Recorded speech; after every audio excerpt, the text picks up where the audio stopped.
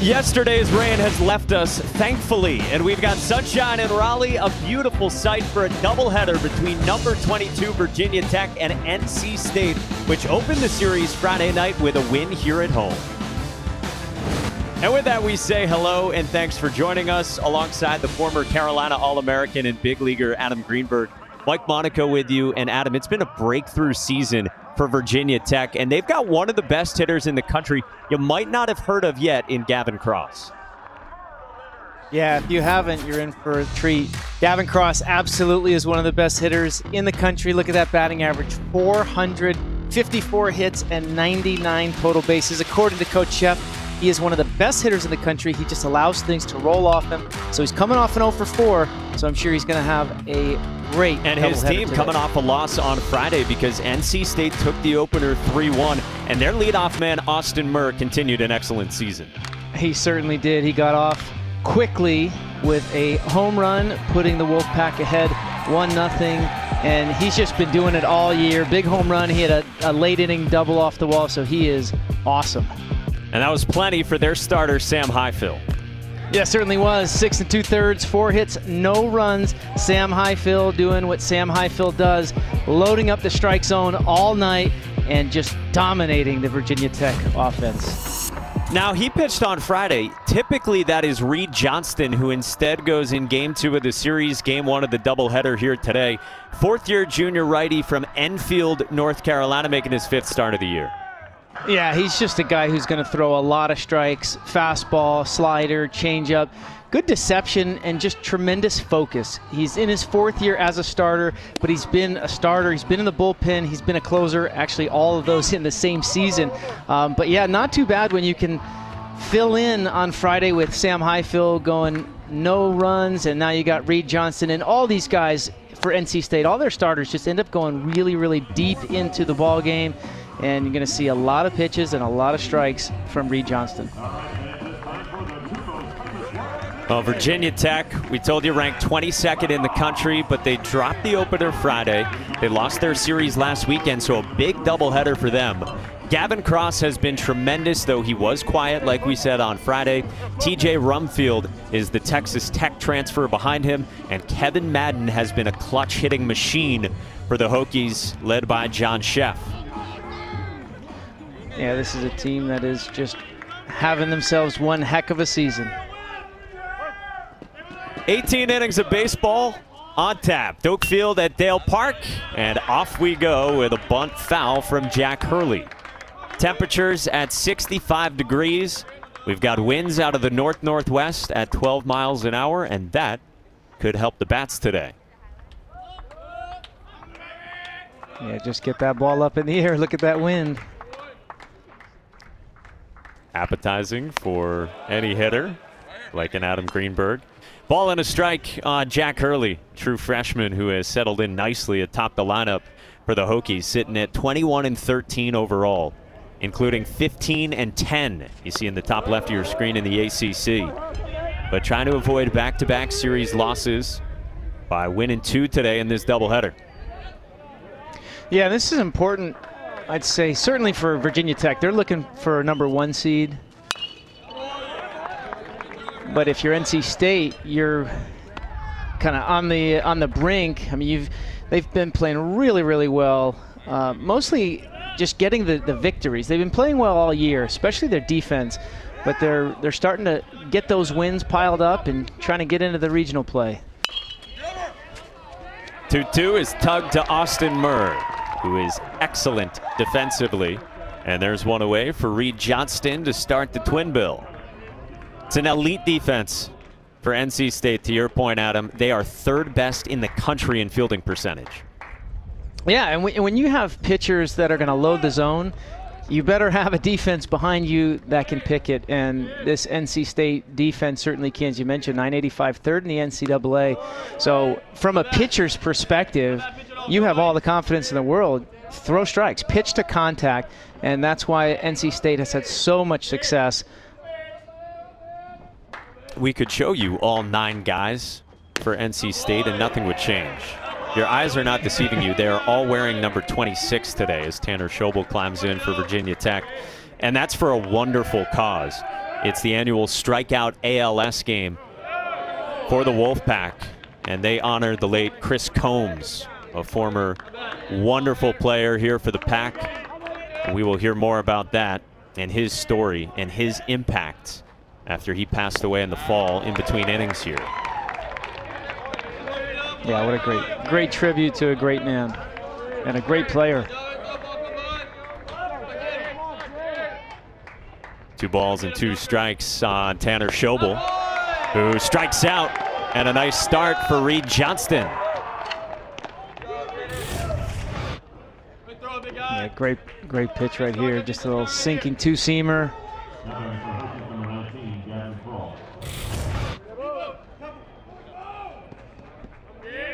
And once again, if you're Virginia Tech, you're going to see a lot of strikes and any pitch, any count, four strikes for Reed Johnston. Who starts with ball one, trying to stay away from one of the most fearsome hitters in not just the ACC, but like we said, in the country. In the second year freshman from Tennessee, Gavin Cross. You saw his numbers. He leads the ACC in average tied for first in hits with Boston College potential first rounder Sal Frelick, and leads the ACC in total bases with 99 already.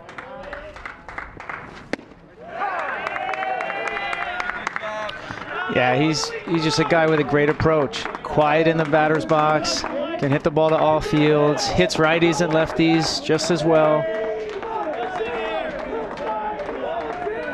Comes the one-two And he sprays it foul.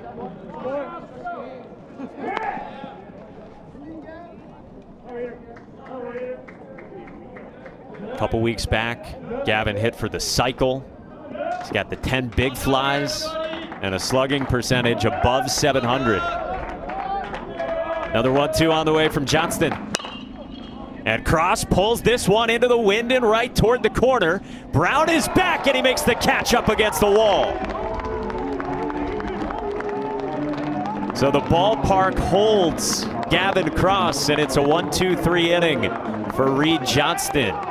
Well, we told you this is NC State's strikeout ALS game in honor of the former NC State standout, the late Chris Combs. Those who understand the significance of number 26 wanted Chris to see it in person. So on a sunny April afternoon, they took him to the newly decorated outfield wall a moment to capture and remember with hugs, with kisses, with smiles.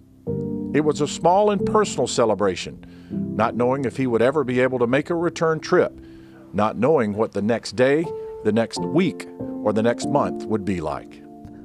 The smile on his face, what Francis and, and uh, Ryan still talk about, what it meant to him, gives me great pleasure and great joy knowing we got that done. Exactly five months to the day after his visit to Doak Field, Chris Combs passed away at the age of 45. What we will all take and what Chris Combs' lasting legacy will be for all of us is the pride, the dignity, and the courage which he battled this horrific opponent. Just a wonderful tribute to Chris Combs. Started NC State in the 90s. Elliott Avent has said just one of the best power hitters he has ever coached. Had the versatility to, to play all over the place. And they have raised a ton of money, multi-millions worth of dollars. You see Chris at the time there with his family. The hashtag StrikeoutALS and NC State fans can bid on the jerseys that Elliott Avent's team is wearing here today. And all funds raised will benefit Team Chris Combs, Project ALS, and the Wolfpack Club's Chris Combs Endowment. Know about you, but that video gave me chills. What a what a tremendous, tremendous tribute. As we said, great man, great husband, great father, great player be sorely missed from this NC State program, but be remembered forever. And in less important stuff, move on to baseball. And NC State batting for the first time here in the bottom of the first with Austin Murr, who we told you about off the top. Had a nice day on Friday. We'll see if Luca Tresh got off to the home run binge at the start of the season. Can he begin to heat up in the three hole for the pack as they face Anthony Simonelli, fourth year junior right hander for Virginia Tech? He's got a 3.47 ERA, making his eighth start of the season. Yeah, Simonelli's going to pitch with a lot of energy and a lot of flair, um, but he manipulates his fastball. He cuts it, he runs it, and he's that one maybe sunk too much there for ball four to Murr. Yeah, he's normally around the zone, and his his last four outings have just been electric. He's had uh, he had a little oblique injury earlier, so missed a little time, but having having him back in this rotation has certainly been important, especially in the Saturday role. They've lost a couple games on Friday, and he's come in and, and shut the door on Saturday and gotten Virginia Tech back on track. He's going to try to do just that here in the first game of the Twin Bill. Again, after NC State took the Friday opener, but Tyler McDonough ropes one off the wall in right. Murr will stop at third, and the first two have reached off of Simonelli, and a fast start for the pack here in the first inning. Yeah, certainly is a, a fast start like they got off the other night, and Tyler McDonough hammers this ball into right field for a double and continues that on base, that torrid on base streak for McDonough, whether it's finding his way on hit by pitch, walk, or here with a double. That's 48 consecutive games. That is absolutely incredible. I know it was a shortened season last year, but all of last year, all of this year, he's been on base every time across these last couple of seasons, and the Wolfpack have something brewing here for Luca Tresh. As you mentioned, Tresh got off to that torrid pace. I think he had seven home runs in eight games. Um, but he's certainly one of the one of the better hitters in the conference, and really established himself behind the dish as, as one of the better catchers as well. Yeah, it was seven home runs, like you said, in the team's first eight games of the year, and now just one in the last 22 games for NC State, which has been playing really well recently. 13 wins in their last 17 games off Friday's victory. Ball and a strike, Simonelli deals.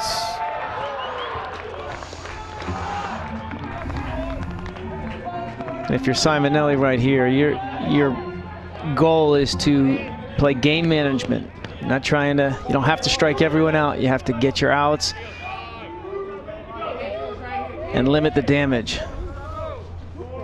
He's missed the zone with six of his first eight pitches so far. And that is spotted low and away. Three balls and a strike now.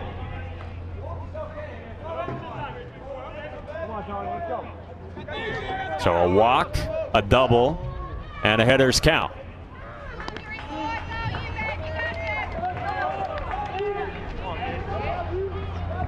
3 1 pitch. And a walk again to load him up. And Simonelli a little disappointed right there, but as, as always the case, if you're not throwing a lot of strikes, you're certainly not going to get the benefit of the doubt. And Adam Dowdy did not give him the benefit of that 3-1 fastball that was off the plate. You can see some of the emotion and the intensity from Simonelli out of Winchester, Virginia, northwest of D.C. Guy who started his career at Coastal Carolina, then went to the JUCO ranks, and now in his second season with the Hokies. Brings up the cleanup man, Johnny Butler, with still nobody out here in the bottom of the first inning. There's strike one from Simonelli. He finds the breaking ball. Finally gets a, a feel for that right there getting ahead of one of the better hitters for this NC State team, Johnny Butler. You saw the OPS above 900. Best numbers of his three years here with the pack. And he's behind nothing at two.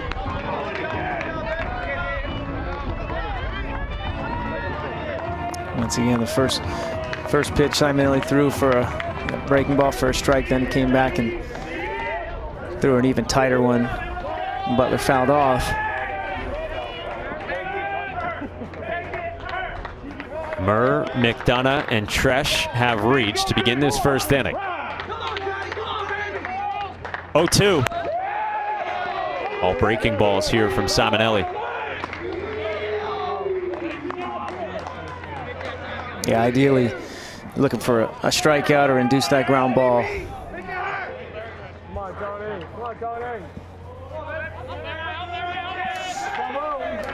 Early action in game one of this doubleheader here at the Doak. One, two. And Butler could not hold up. He went around, and it is a strikeout for Simonelli and a huge first out in the first. And that ball just had serious run on it. Nice changeup. And Butler just couldn't quite hang on. But that's the difference when you get ahead of the count and you get guys in defensive modes, then that pitch that starts on the plate that runs off, you can induce some sign of action. You see Butler saying that ball just ran, ran away. It sure did. And now right on right against Jose Torres, and that tails to the outside corner. And so you said he will manipulate the fastball, and he's done it these last couple of pitches. Yeah, he'll throw anywhere from 88 to 93, and that's with intent. So if he wants to, if he wants to sink it or run it, he can do that. If he wants to cut it, he can do that. And if he wants to stay high with the heater, bouncer left side. The shortstop Schobel will go to first for out number two, but Murr scores and the pack strikes first. Yeah, nice play by Schobel and good job by Torres just putting that ball into play, getting that first run across, giving them a lead. Nice play right there. Coming in charging. No real no real play anywhere else.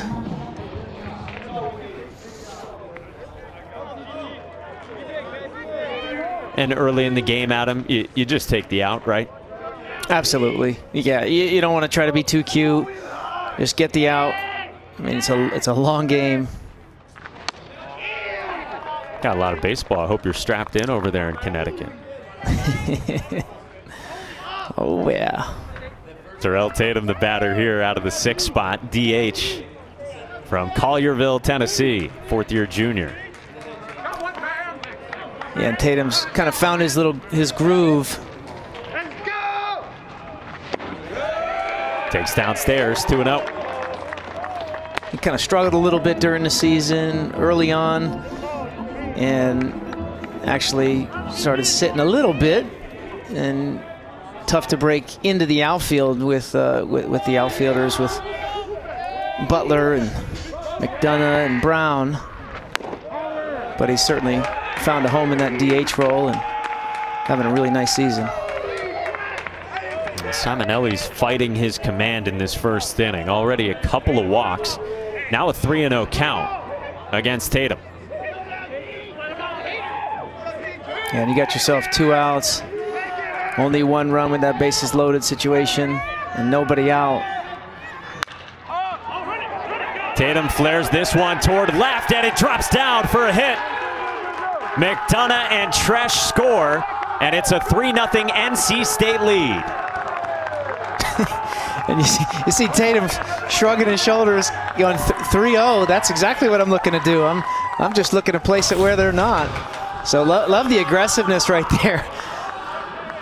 Gets completely jammed on a 3-0 pitch, but once again, in, in baseball, it's not how hard you hit it always. It's it's where you can place it. So very aggressive against Simonelli right there with the base open and a 3-0 count. And see that? sure, why not?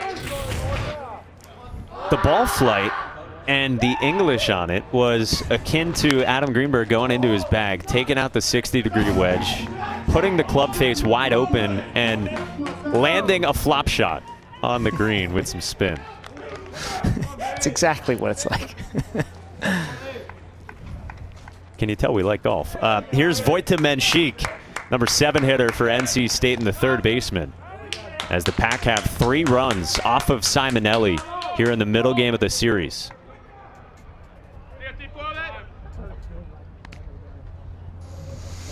And Tatum certainly a threat to run. Simonelli keeping him close. And that was close. You see a good job. You always want to get back out into your lead quickly. You don't ever want to be slow getting that lead. Get yourself out there. So that he can't catch you while you're extending? Correct. So you're never quick, either quick pitched or he can quick pitch. So you see Simonelli do, does have really quick feet. He's got a quick move. And Tatum so took the brunt of this. He's slow to get up. Oh, you don't like to see that. They're looking at his jammed. right hand. Jammed his hand into the bag going back. I mean, it was athleticism on both sides. The move from Simonelli and then the dives back from Tatum. Uh, a little more dynamic on both sides than your traditional pickoff. Yeah, money throw. You see it just jammed his wrist in that back of the bag. Mm. Yeah, it didn't, didn't feel good. And frustrating for sure for Tatum because, as you said, he has been heating up. When we saw this NC State team a few weeks back against Clemson, he was really scuffling. He had a very high strikeout rate, but he has trimmed that. Coming into today, 14 for his last 37, right around a 380 clip for him, as Elliott Avent came out to pay some attention to him. 25th season at the helm for the legendary head coach here in Raleigh.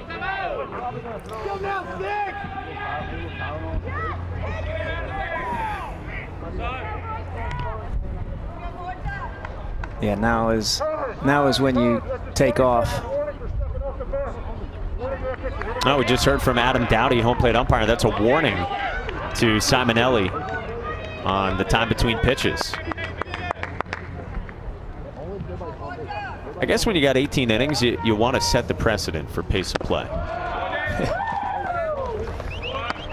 yeah, but what I what I was mentioning is right after that uh, injury timeout, is, is when you usually want to just take off that next pitch. You got a nice high leg kick from Simonelli. So let's see if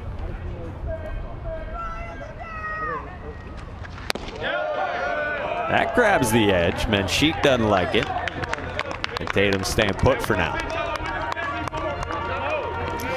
Yeah, and that staying put probably because those couple pickoffs were, were pretty close. So see some confidence waver a little bit when you're when you're on first base and you get two balls and two strikes to count now on Mensik.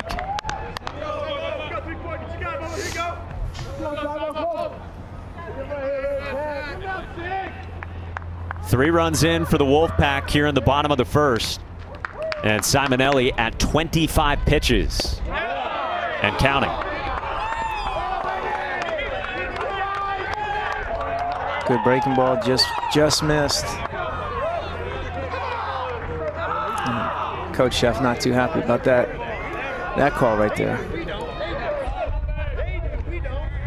Simonelli's thrown as many balls as Reed Johnston threw total pitches in the top of the first, 15. The payoff. Mensik stings one the opposite way, but that hangs up for cross, and the inning is over.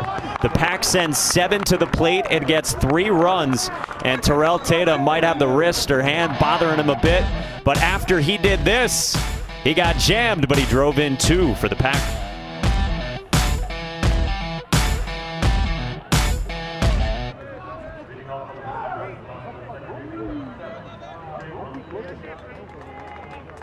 Well, it's a 3 0 deficit for John Szefc in the first inning of the doubleheader today. But what a season and what a turnaround it has been for Virginia Tech in his fourth season at the helm.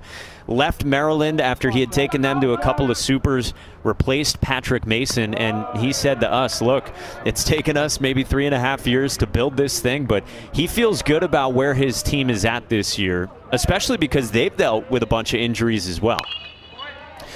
Yeah, they are not at full strength, have not been at full strength. So he certainly believes that once everyone comes back, I mean, they're just, they haven't played their best baseball and they're, you know, they've certainly had a, a good wins and loss so far. And he's really excited, especially with guys like TJ Rumfield in the in the lineup doing what he does best, just get get hits. A backside single for Rumfield, the cleanup man and the first baseman, and a transfer who spent his first two years at Texas Tech, immediately eligible and one of the big bats in the middle of the lineup for John Szefc. Yeah, he he's just a tremendous hitter, great discipline, great approach, and he's not just had a good year for himself, but he's also enabled Gavin Cross with some protection behind him. Well, behind Rumfield is Kevin Madden, third year sophomore third baseman out of Glenwood, Maryland, west of Baltimore. Doesn't strike out a whole lot, and boy, has he had big hits this season. He's had a pair of walk-offs in a non-conference matchup against VCU, had an RBI single in the bottom of the ninth inning. That was part of a four-hit day for him, part of an 8-2 start to the season for Virginia Tech at the time. That one rides inside from Reed Johnston. And then in the middle game of a series against Boston College in the beginning of April, Madden had a two-run walk-off single in the bottom of the ninth inning of that game to win it as the Hokies came back in the ninth. So I'd call him clutch. I think so. That works a four-pitch walk here. And the first two have reached for the Hokies, similar to what NC State did in the home first. Yeah, rare for Reed Johnston to miss the zone that badly on four pitches, so I'm sure he'll take a deep breath, settle down. But this NC State pitching staff has just been incredible. These starters just going so deep into games. Out of ability and some necessity as well as Reed Johnston will now face Tanner Thomas, fifth year senior left fielder from Jacksonville. It is not a deep NC State bullpen as Luca Tresh will come out to chat with Johnston. They've dealt with injuries and some other issues out there. Clint Chrisco, third year pitching coach, comes out as well. And so they've had to lean so heavily on the starters. And between your three weekend starters and your midweek starter, and then really one guy who is consistently getting high leverage outs in the bullpen in Evan Justice, NC State is riding those five guys quite a bit. Yeah, to, to say the least. I mean, they only have five guys with more than 10 innings on the season. So these these these are their five guys, and there was a stretch they had five pitchers in four games. I mean that, that's unheard of. Through the a full weekend and then a midweek game, they only had five pitchers. So I mean, just really tremendous job by these guys specifically up on the board. 76% of the innings you saw from those guys, and now it's six straight out of the zone from Johnston, who's been a workhorse for him, but fighting his command after he had a one, two, three first inning. Yeah, I mean, a, a great inning, and then Rumfield broke it up, and now Johnston's really struggling to find that zone. Relocates it there for strike to Thomas. Veteran hitter, great leader, and a quality person. That's what John Szefc said to us in chatting about Tanner Thomas, the left fielder. Fouls it off two and two. And really good eye black. Really Yes. good eye black. It's like the perfect smear, no? Yeah, I mean, I've seen seen a few different uh, few different shades, kind of flowing down right into the beard. So it's, it's good work. It's kind of controlled chaos there. you know, he spreads it, but it's it's not rough and rowdy like a lunatic defensive tackle. If you were watching ACC football this year, you might have seen Kurt Hinish, a defensive tackle for Notre Dame. He went with like the Daniel Stern in Home Alone approach, where his whole face was covered. 2 2. Thomas in the air towards center. McDonough drifts back. Wind kept carrying that one, so it allows Rumfield to tag and move to third, and Madden moves up to second. Yeah, and really, really good base running there by by Madden. You see McDonough just continuing to just track back. As you mentioned, that wind was carrying that ball, so McDonough was not able to get behind it and catch it coming in and prevent Madden from moving up from first to second. So good job recognizing the opportunity and taking full advantage. Now you got two guys in scoring position with less than two outs.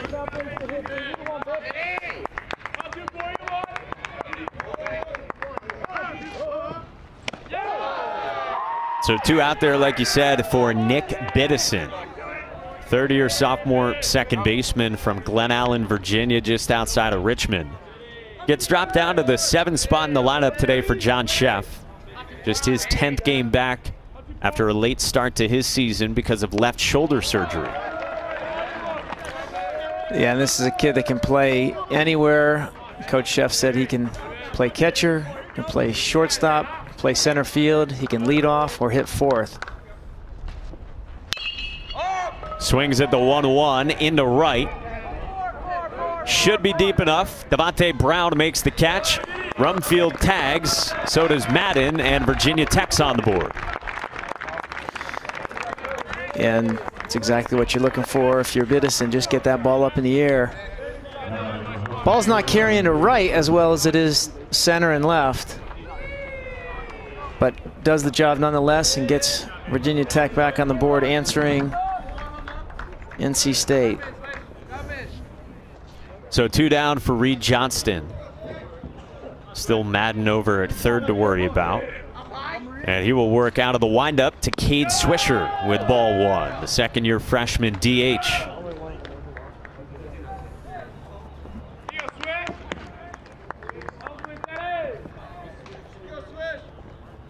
Been a productive guy for him out of the eight hole with an OBP right around 390. That is some nice length in a lineup.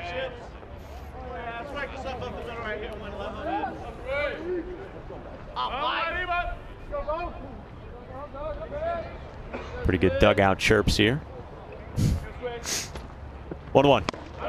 Runs up and away. And a little little frustration from Johnston right there. Just not able to locate where he wants. Like to get out of this inning and go sit down and take a deep breath. And if you're Cade Swisher, you're looking to get that run in. Ooh, snaps in a good one.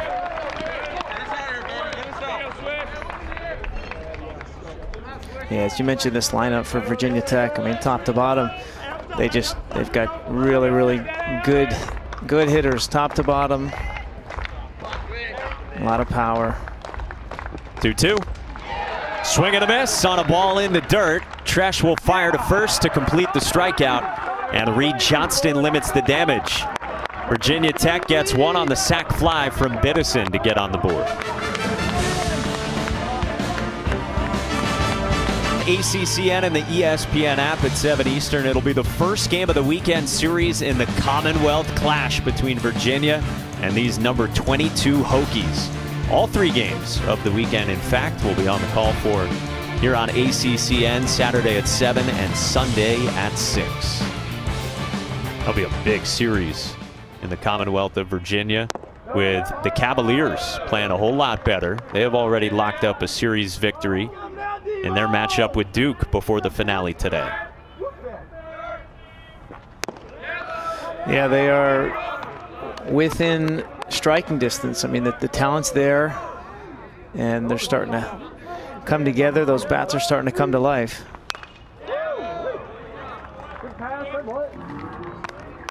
See Simonelli falls behind again already.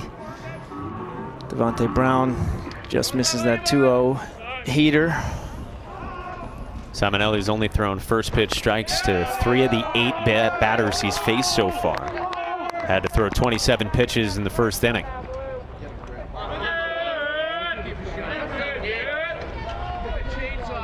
But two balls and two strikes now on Brown. And that is just off the edge and low and a full count. It's a good spot, but he's Adam Dowdy's been consistent. Simonelli, I think, thought it was a strike. this is bounced right side. Rumfield gobbles and retires Brown. And there's one away. All's well that ends well, Anthony.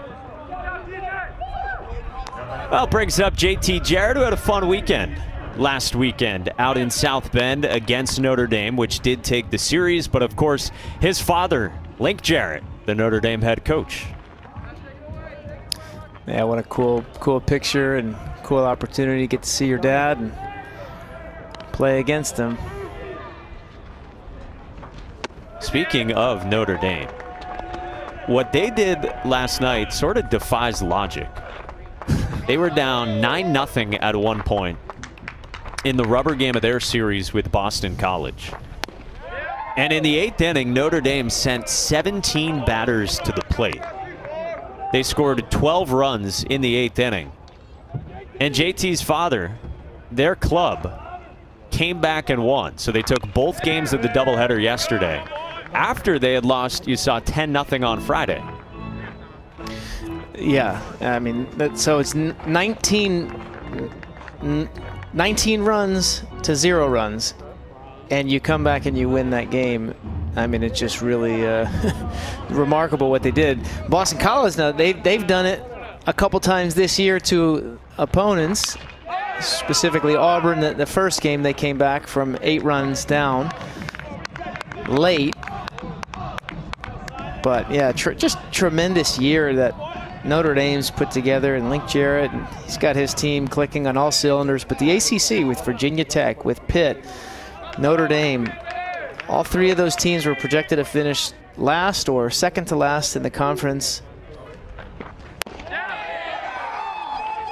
And having wonderful seasons. I mean, this Virginia Tech team right now is in first in the Coastal. And they were picked second to last, to your point, in the Coastal. And they were only ahead of Pitt. Payoff pitch. Inside, and Jarrett works a one-out walk from the nine hole. Yeah, good at bat from Jarrett. Fouled a couple pitches off, took a couple close pitches. I think there's some disagreements on what this zone is. See John Szefc. What a season they've had to this point. 34 games in, coming into the doubleheader today for a program that's only been to regionals two times in the last 20 years, and they've not been since 2013, which was Pete Hughes' final season before he left for Oklahoma. John Szefc is a tremendous man and, a, and, an incredible coach and just really knows how to build up programs. I mean, he's done it throughout his entire career, everywhere he's gone, starting at Marist,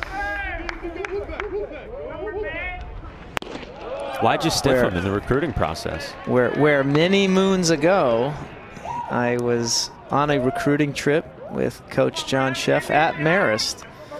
And it was one of my most difficult phone calls uh, during that process just because of the connection that he and I had. And I was like, this, this would be a great guy to play for. Yeah. Seven seasons there as the head coach. Wave and a miss. Good breaking ball as Anthony Simonelli gets a big second out by fanning the leadoff man, Austin Murr.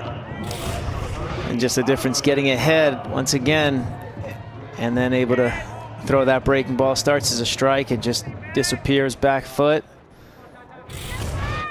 and strikes out a, a great hitter in Austin Murr.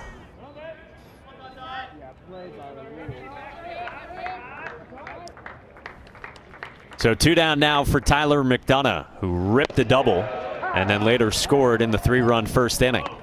And there you go with Simonelli. Get it, get ahead. I mean, he has the stuff. But the difference is a pitcher, ahead versus behind.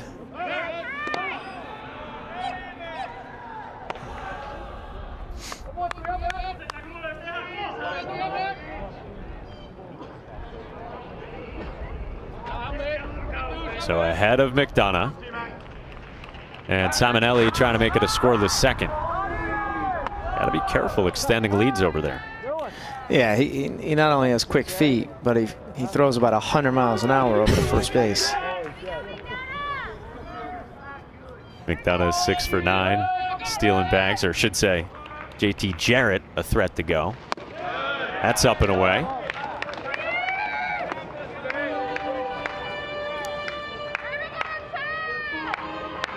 Yeah, and there's no reason to get too big of a lead with a guy that has such a good move, but as we mentioned, he, he is a little slower to the plate, and Simonelli gets that big leg lift. Tried to back foot McDonough.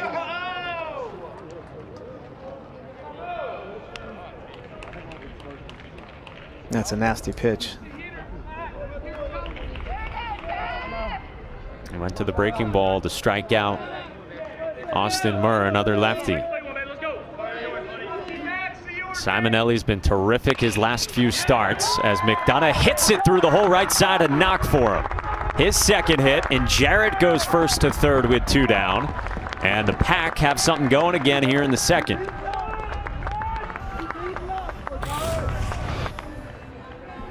He tried to come in right there. See McDonough pull his hands in, get to the barrel, get that barrel on the ball, and find the hole. And with Jarrett on first base, you definitely have that hole.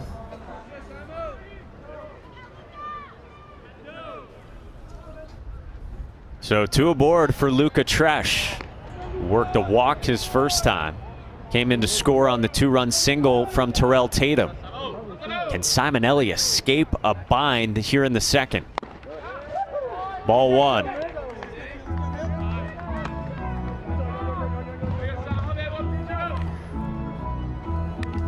Already 40, 47 pitches. Simonelli's not not a, against throwing a lot of pitches, but you want to be a little bit more efficient.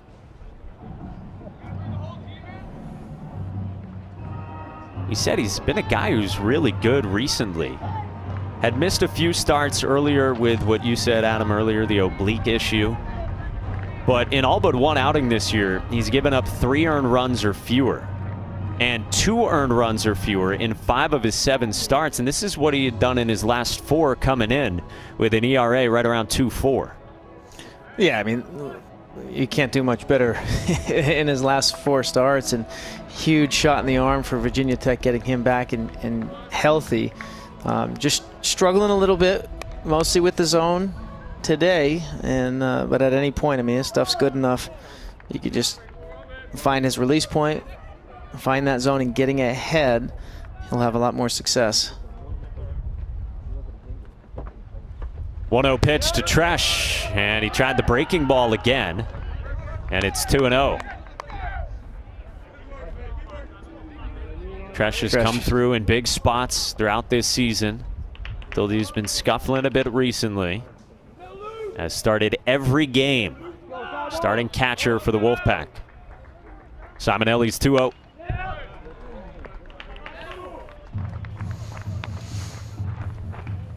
And that's a good 2-0 pitch right there. Two-seamer riding back across the outer black and Tresh not able to do anything with it. Fouls it off.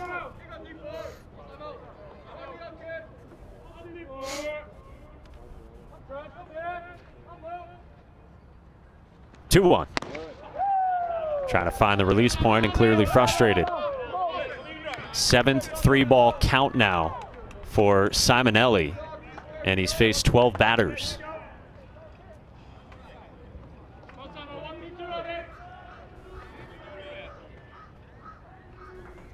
Jarrett at third, McDonough at first, 3-1. Is away, and it's ball four. So two walks in the first, two more here in the second, and they're loaded up.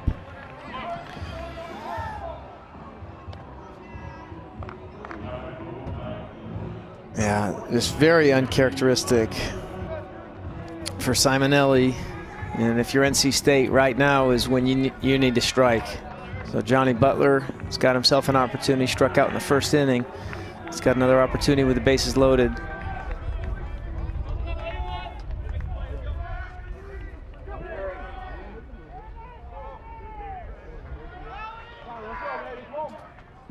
Simonelli went down and away with a fastball to fan Butler's first time, and he starts him out with a swinging strike one here. Simonelli has had a few outings this year where the walks have crept up. You see, Butler's been a good bat all year in the cleanup spot for NC State. But Simonelli walked four two outings ago at Wake. And back early on in the season, late February at Miami, he walked five.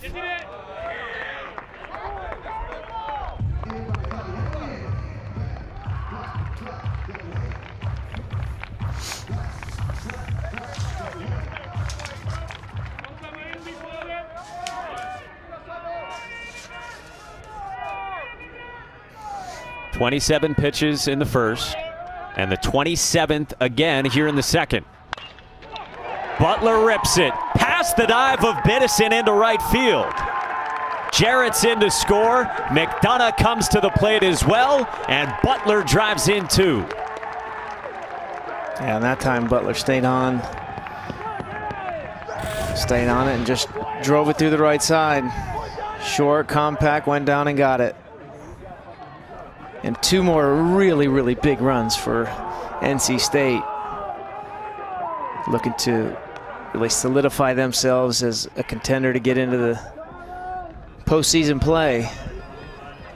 And a big series win would, would certainly move them up the ranks.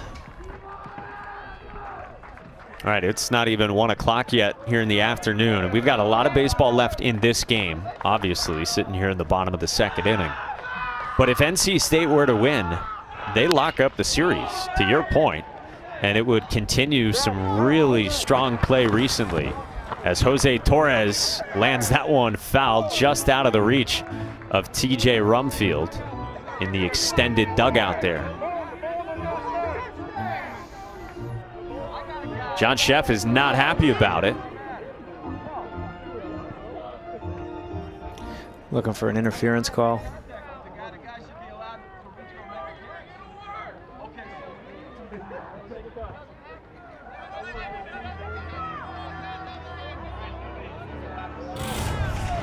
Let's have another look at it. So Rumfield going into NC State's dugout.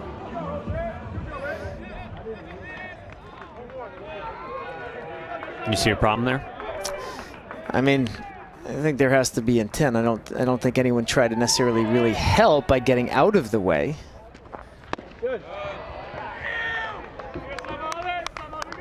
But it didn't appear as anyone did anything intentionally to interfere. Because remember, that ball is in foul territory, in it's out of play, and Rumfield can reach over this over the fence. Jose Torres into the gap in left center, and it drops down in front of Hurley. Tresh scores to make it 6-1, and the Wolfpack add on.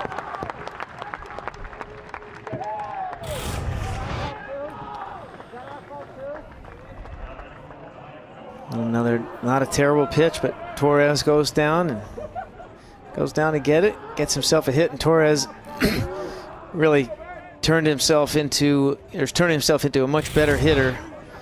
Struggled early on. He also had an injury, an oblique injury, so wasn't really at full strength and has been getting stronger and stronger throughout this year. Highly, highly touted shortstop. And he makes it three runs, all with two outs here for the Wolfpack in the second inning. And here's Terrell Tatum, who drove in two the opposite way on a jam shot in the first. Yeah, good to see him back in the batter's box after he jammed his, his hand and his wrist. So imagine it's not that bad. Pretty healthy hack there.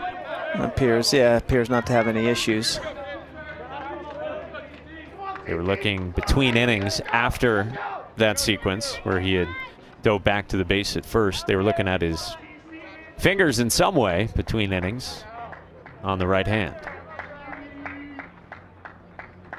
0-2.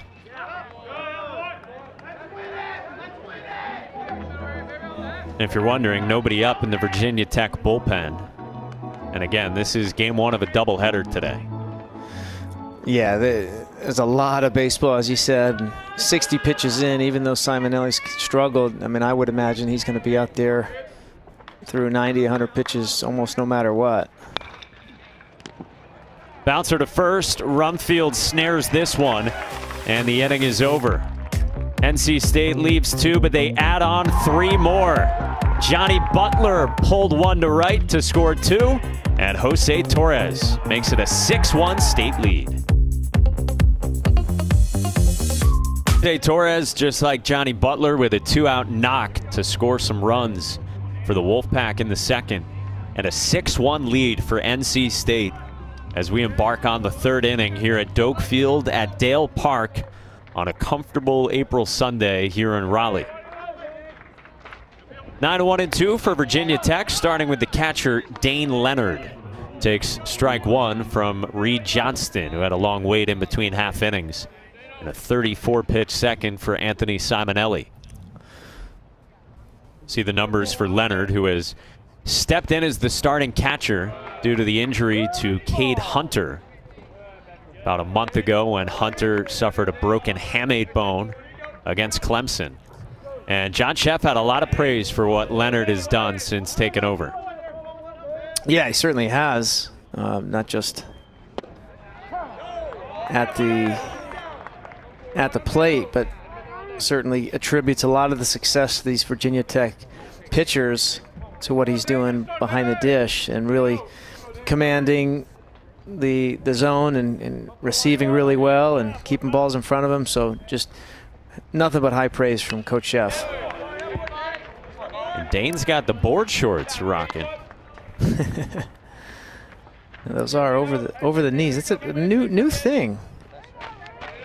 You weren't doing that. Over the, like, nah.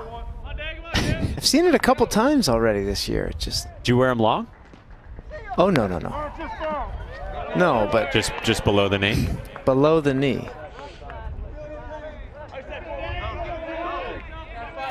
I mean, I just kind of say it like this: if if I'm going to go run, would you rather run in pants or shorts?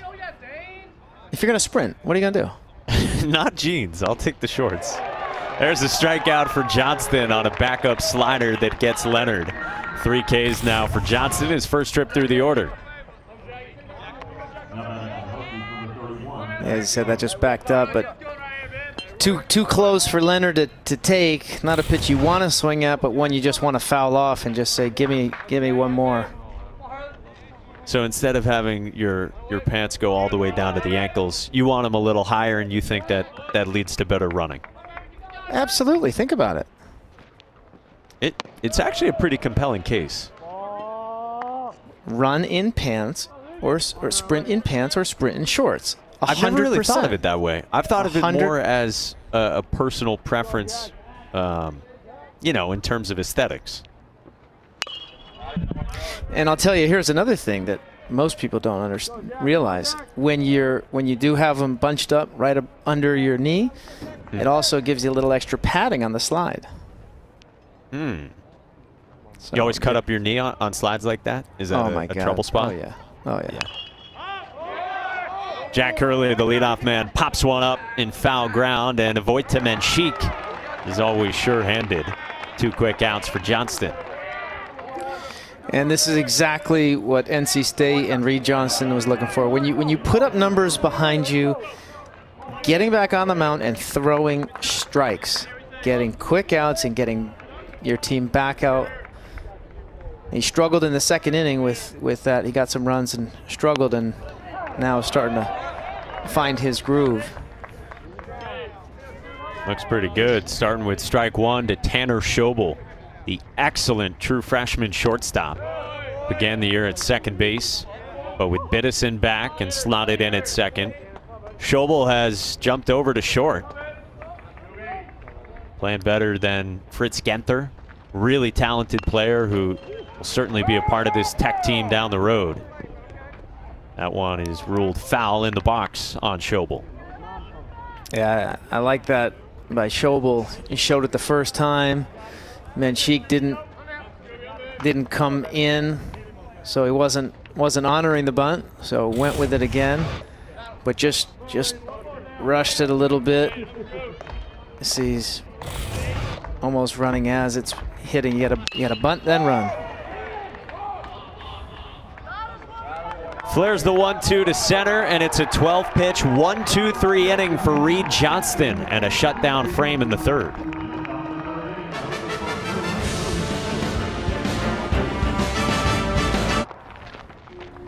Tanner Schobel just flew out to center to end the top of the third. And look, credit this guy for hustling. You're staring down a five run deficit. He was busting it on what he knew was probably a flyout. And we saw this a few times in the opener Friday. Guys lost their footing around the base paths. Yeah, I mean, but I'm going to go back to the hustle, right? Just going hard. It's it's a, it's a fly ball, routine fly ball to center field, but anything can happen with the wind or whatever.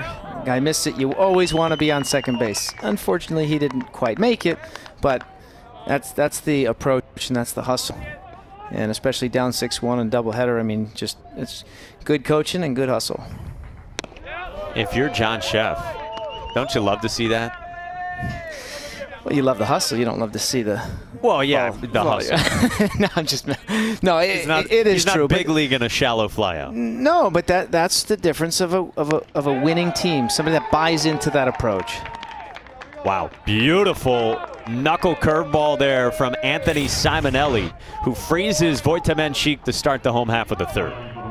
Yeah, that's just that's just nasty. And once again, though, get this is this is hopefully for Simonelli where he could just settle down. Doesn't matter what the score is. Your objective is to keep the team in the game and just stay out there as long as possible. Oh boy. Ooh, little stare down too from Adam Dowdy at the end of that. and that's not what you're looking for.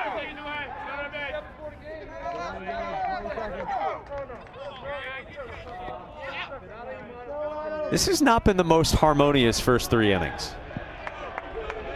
Anthony Simonelli has got a something to say on the mound too, muttering to himself still. I mean, it's not like he yanked the fastball out of the left-hand box. It was, a, it was a little bit off the plate, right? Well, yeah. I mean, it was a, it was a late time call. And no no pitcher. I mean, uh, no pitcher likes when there's a late time call. I mean, listen, you, call time, you call time. There's there's no need to be emotion on either side, from the umpire standpoint or Simonelli. I mean, it just it is what it is. Um, but yeah, it wasn't it wasn't like it was intentionally being thrown at Adam Dowdy for sure.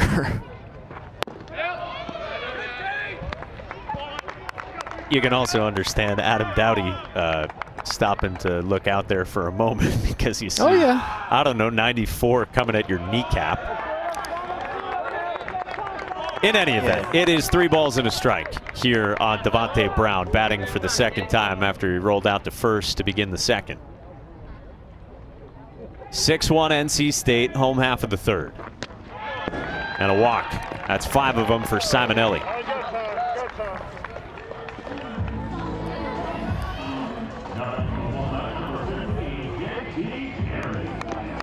Simonelli's had a really good season for this Virginia Tech squad.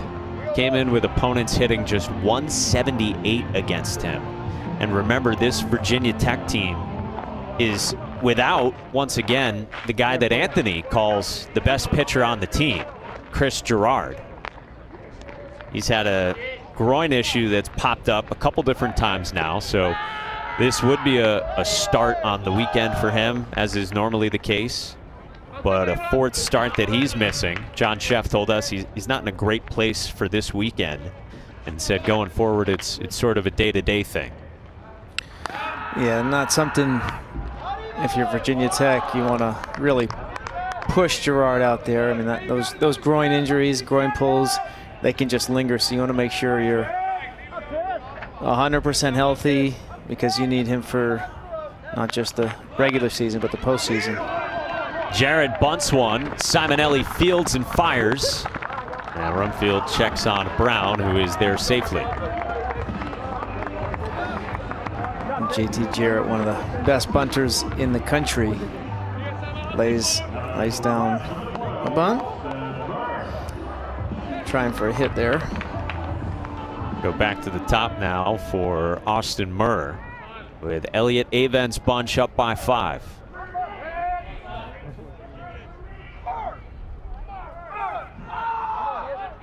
They scored three runs in a 3-1 win on Friday. 6-1 here in game one of the Twin Bill.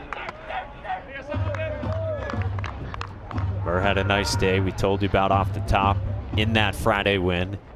A home run bullet and a double off the wall in left center.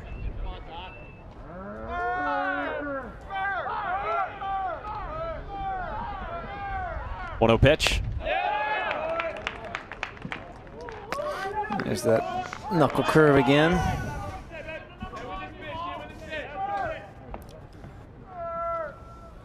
Simonelli's really changed his pitch mix in his two years with Virginia Tech. He has bought into the analytics that Virginia Tech places such an emphasis on. There's a good knuckle curve there. And he's worked with the pitching coach, of course, Ryan Fecto in his fourth season on staff with John Szefc. And Simonelli's got a nice cutter he throws, a changeup, good velo with his fastball. We've told you about the knuckle curve. Nice four pitch mix for him. Yeah, mainly the ability to manipulate that fastball. And when it's when it's going well, the ability to cut it, run it, and he's got enough velocity that he can pitch up in the zone as well, and then that makes that that knuckle curve starting starting high, starting at the top of the zone, and just barreling out. I mean, he's he's he's got some a great mix but just really hasn't been able to find that consistency yet today. Leonard couldn't hang on to that one. And for Simonelli, he's coming off his best outing of the season against Georgia Tech on Saturday. Six innings of shutout ball, two hits, and a half dozen punch outs for the righty. Yeah, I mean, he was he was on point. As I mentioned, threw a lot of pitches, but was was getting ahead most of most of the game. Murr the opposite way, and he flares it into left, and it kicks away from Tanner Thomas. Brown scores easily with two outs, and Murr is at second base, wagging the finger, and it's 7-1 pack. Yeah, we see we saw Murr go big fly on Friday and then you see why he's hitting over 330 right there. Just sticks that bat out on a pitch out over the plate. Gets himself a, a two out RBI.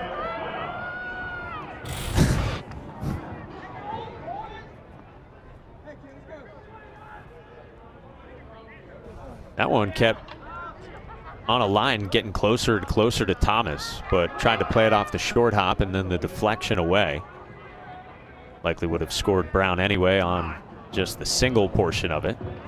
And Ryan Fecto will come out to chat with Simonelli here in the third inning. The Wolfpack has scored in each of these three innings against the reliable right-hander for Tech.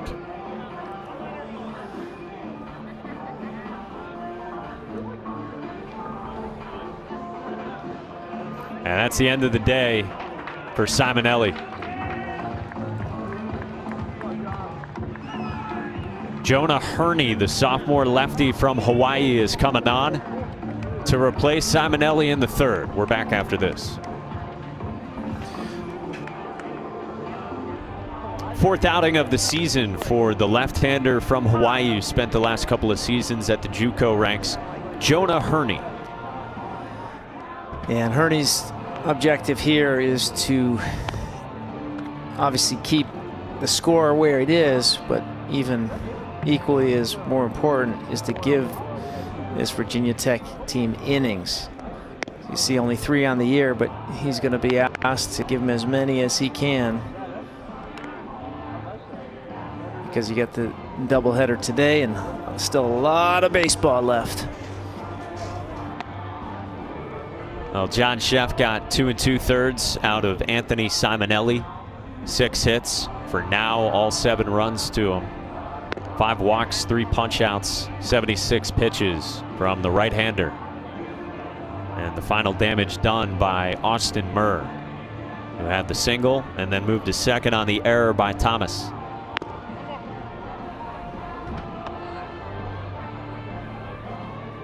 Game one of a twin bill will get the second game started in theory right around 4 o'clock Eastern time, and you can watch that one over on ACC Network. We'll have that one for you over on the linear network. And NC State right now is thinking series win before that finale. Yeah, they they certainly are. They got the, the, the big Friday win, and now coming out early and often in the first game of this doubleheader, as you mentioned, it'd be really. I mean, it's not not important for Virginia Tech to get the uh, the win here, but from a standing standpoint and a postseason standpoint, really important for NC State to get this this series win against a, a great opponent and a, and a ranked team. Switch hitter McDonough batting from the right side for the first time after he had good success against the righty and Simonelli.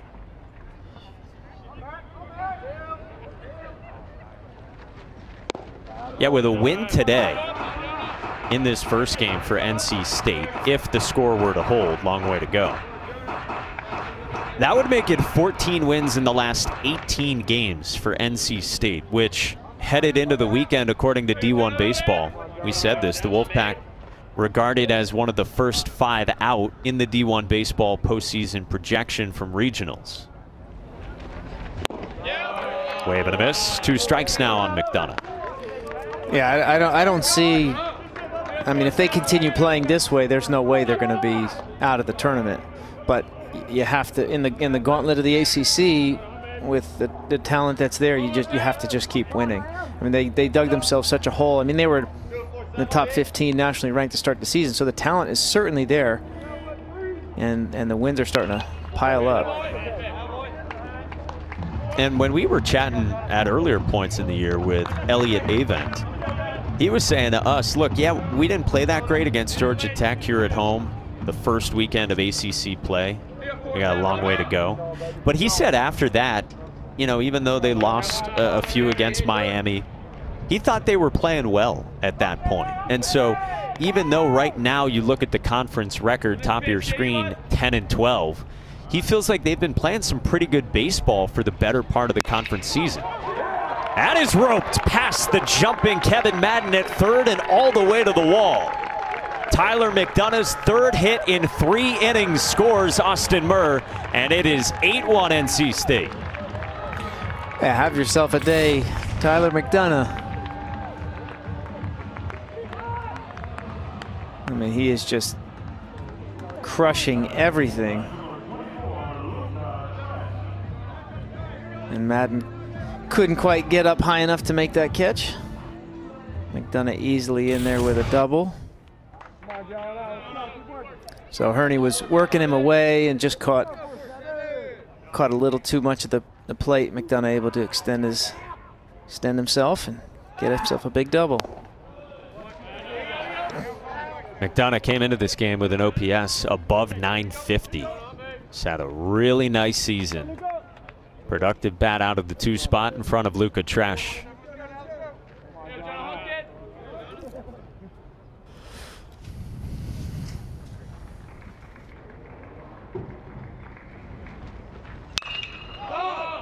Tresh popped it up into left center, and Hurley puts it away, and the inning is over. But NC State adds on and leads 8-1 after three.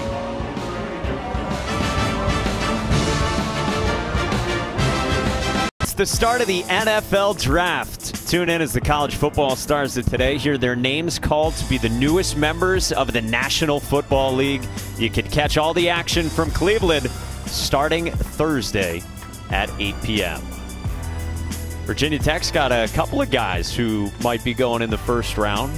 Mel Kiper Jr. and Todd McShay came out with a three round mock draft earlier this week. And they had Christian Darrisaw going 13th to the Chargers. Caleb Farley, the corner, they had him going 20th to the Bears. What do you remember, Adam, about getting the call to get drafted to the bigs or to the to Pro Bowl, I should say? It was, that would have been impressive, uh, straight out of college to Pro Bowl to the to the big leagues. No, mine was mine was interesting because I got I, I was told that the Cubs were one team that was not going to draft me. I wasn't their type of player. They had too many outfielders. I was too small for them. Gavin Cross ropes one into the shift. JT Jarrett on the backhand retires him. One away. Hits Gavin Cross hits another ball right in the screws. Just missed a home run in the first inning.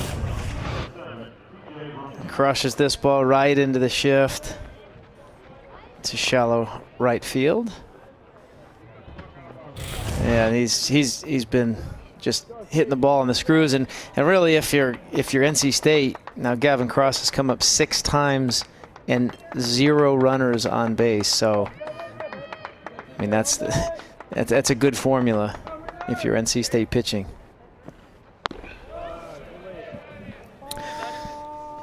But anyway, back to the me at my my phone call. It was just uh, very mixed emotions to say the least. It was ecstatic, obviously, but when the Cubs called after knowing that they were one team that was not going to draft me, I was like, wait, what? They they they want me? but it was uh, certainly the start of a dream come true.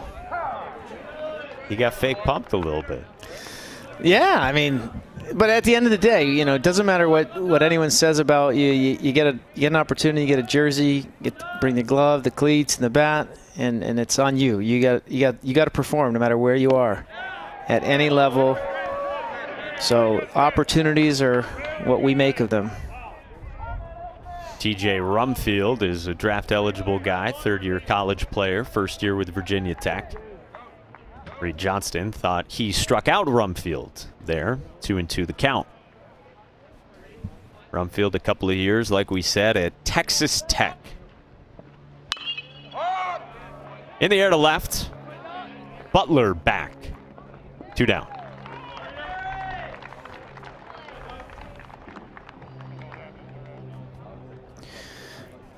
How about this NC State pitching staff? I mean, just continuing to just pump the zone, saying, here it is, hit it. I've got a defense behind me with a 985 fielding percentage, third in the country. So I know my guys are going to make plays. And I mean, the confidence that must instill in all of these pitchers. Hmm. And knowing Johnston gonna, came out and went one, two, three in the first inning. Second inning gave up a leadoff single, then walked Kevin Madden, who bats here. And since then, no one's reached against Reed Johnston.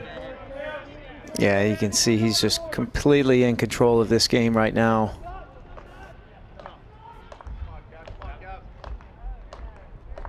Looking to make it another one, two, three inning. His 0 2. Bounced foul right at the dish.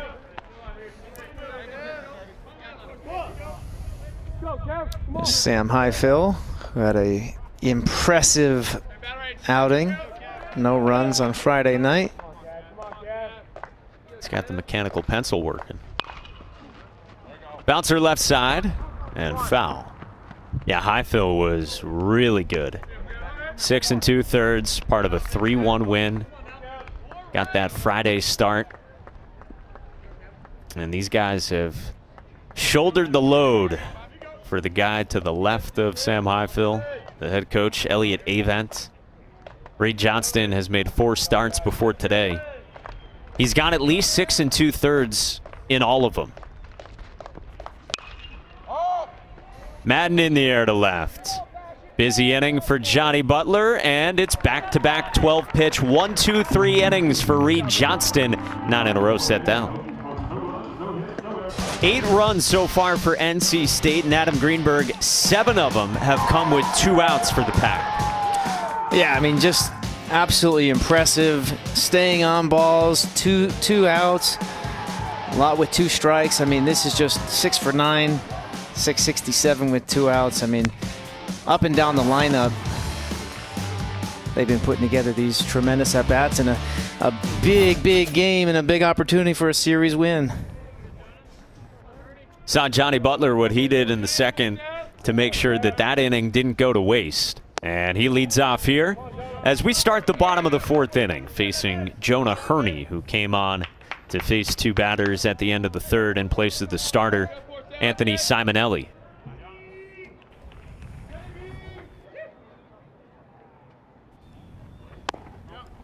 Two zero oh to start out against Butler, fourth-year junior from the southwest suburbs of Chicago.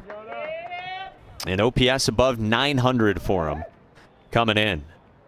He smoked the ball in the second inning on Friday. That ricocheted into an out.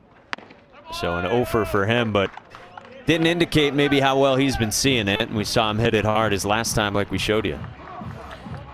Yeah, he's just had himself a, a tremendous year. And he's just a really good hitter with a with a great approach. He sits looks looks the middle the other way, so you can't really not going to see him pulling off many pitches. And that's why you see the average over 300. How do you like the nickname Johnny Barrels? I mean, says says says a lot. Says all you need to know. There's a strike and a full count. Johnny Barrels looking a Johnny Bunt with a 3-1 count. Once again, take what the defense is giving you. See the defensive alignment playing way back, so all you'd have to do is just get that bunt down. 3 2. Butler in the air, struck it well to deep center, sending Hurley back, and it's gone. Johnny Butler's got a leadoff home run to start the fourth inning. Now we saw something like that last night, where you you have a, a bunt attempt, you get the defense off a little bit, and then Butler just goes down and absolutely mashes this ball dead center field for a home run. His fifth of the season. A rocket to center. It's a 9 1 lead, and so much for two out offense. Johnny Butler will just start the inning. Thank you very much. And yeah, you're right. We saw it last night when we were calling Florida State at Georgia Tech, where Matt Nelson, who leads the country in home runs as Jose Torres stands in, had squared to bunt. And then the next pitch, he homered. It was his 17th home run. Maybe an act of surprise by him. And so that game, by the way, last night, it got suspended, as we well know, in the eighth inning. They were set to conclude it today at noon and then follow with the finale of that series. Florida State hung on to win game two of the series, the resumption of that game from last night. And in game three of the series, in the first inning, guess who homered? Matt Nelson again. He has 18 home runs. Torres the opposite way to right, but crosses there. There's one away. 18 home runs for Matt Nelson. Leads the country. Yeah, let's just get back to that bunt though. So so he he didn't just So is it actually a bunt or is it hey there's three It's- balls, I'm square? Oh no no no, he was It's a bunt. I think he was trying to. I think he was trying to bunt. I mean, it's eight to one. What you're not you're not trying to walk there. You're trying to get a base hit. Three one. You're not saying I want to walk. Um, but yeah, I mean Matt Nelson squared the bunt, fouled it off. Nice backhand play by Nick Biddison, but the throw not in time to get the speedy Terrell Tatum, who's on with one out. Yeah, great play, but no no chance with with Tatum running. So anyway, yeah. So so a square and an attempt, attempted bunt. Let's watch Tatum get out of the box quick, move down the line. Nice play by Biddison, but said no no chance. But yeah, no, he, he's going for, he's going for a hit, and then he says, okay, well, if, if I don't get that bunt down, I'm just going to go big fly to dead center field, and it was it was like a mirror image of what we saw last night. Is it hard to change your mindset from one pitch thinking bunt to next pitch, a total change in what you're you're trying to do at the plate? No, but it's a great question. The whole key to bunting is the absolute commitment to the bunt. So the mental commitment that pitch. It's over right after that, but it, you have to have a full commitment to that pitch. And that's oftentimes where people foul it off because they're kind of in between. Should I? Shouldn't I? That is bunted. Foul. So there was some indecision. What do you think? We hear Elliott Avent yelling, great idea. no, I mean, I'm not going to say Mensik was, was in between there. But so often, especially guys that, you know, are mashers or or even even guys that do bunt for hit, you just you have to have that complete commitment because you're kind of looking and you're if you're in between it all is oftentimes where you go wrong because you're not you're not slowing it down. You're not bunting first and then running, and then you're you know you're speeding it up because you're like, oh, I guess I should. So that's that's what it comes down to. So. Yeah, it was a really nice idea there by Mensik, and he almost put it down beautifully against her. Yeah, and, and you know sometimes, especially at the next level, you would more often in a nine to one game, a doubleheader, you're not going to be bunting. Um, but at the college level where every Almost game got is, Tatum. He got back safely. Yeah, where, where every game is so critically important, and we've seen so many big come from behind wins. There's no lead that is completely safe. So you always want to put the pressure on, really, until until the game's over. Um, so you you're going to run, you're going to bunt, you're going to hit, you're going to be aggressive straight on through. This is popped up on the infield. Biddison with a vocal call for it. The second out.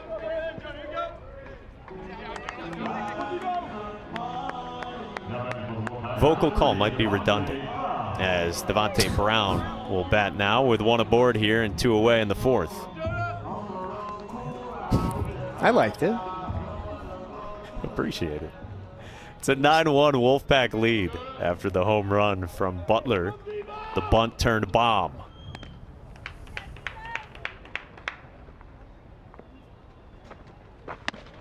Brown's another guy who's been starting to get the bat going. Entering the weekend, he had been swinging it a whole lot better. 14 for his last 38. Three of the five home runs in that stretch. Four doubles, a dozen of the 17 RBIs here in this month, beginning with that Clemson series, coming into this weekend series against Virginia Tech. And Brown is a, a middle of the order guy. Found it last year in summer ball, came back and, and got off to a tremendous start um, during the, the COVID year that got canceled.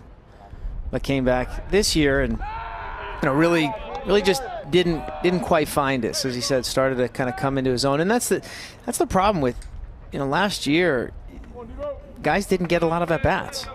So it, it's almost like having a, a, full year off. So where he was locked in and and he was feeling really good, just came back and and now starting to kind of get a lot more comfortable. And this is this is a bat who's Devonte Brown hitting eighth in his NC State lineup that could very easily be uh, middle of the order, four or five guys. So I mean, you got some you got some juice and some thunder at the bottom of this lineup with with Brown hitting eight.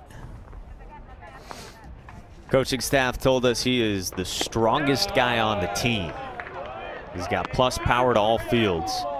As Herney makes it a two ball, two strike count, he's trying to escape the fourth.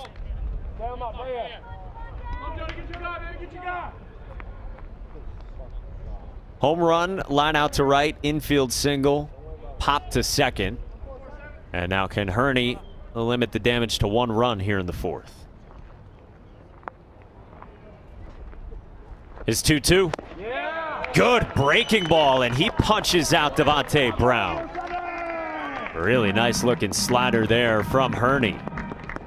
But Johnny Butler led off this fourth inning with a solo shot. Worked the count full and smoked one to seven.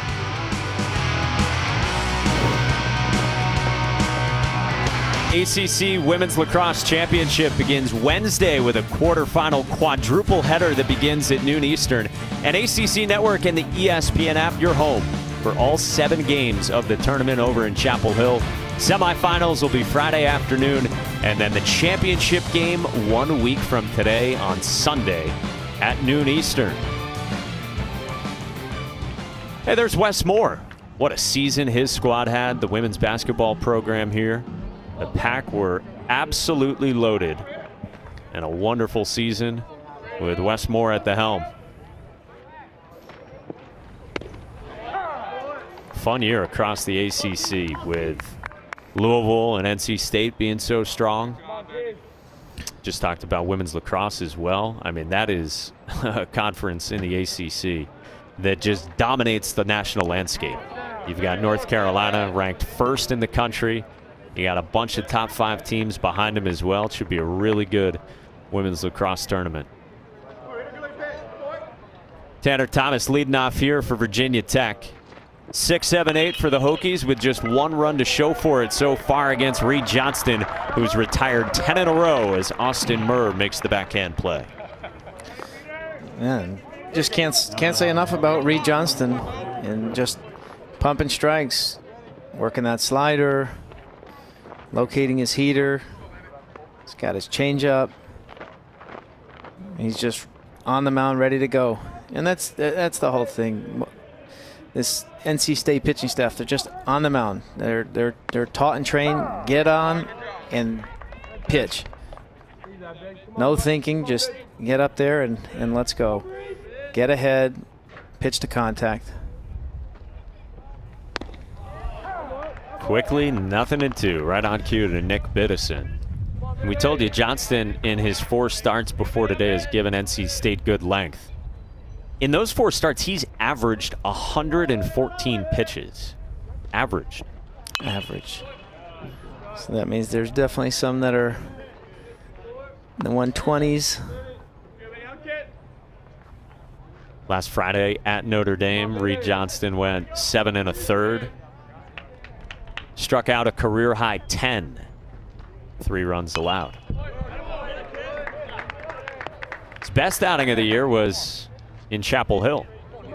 Complete game, two runs, 116 pitches.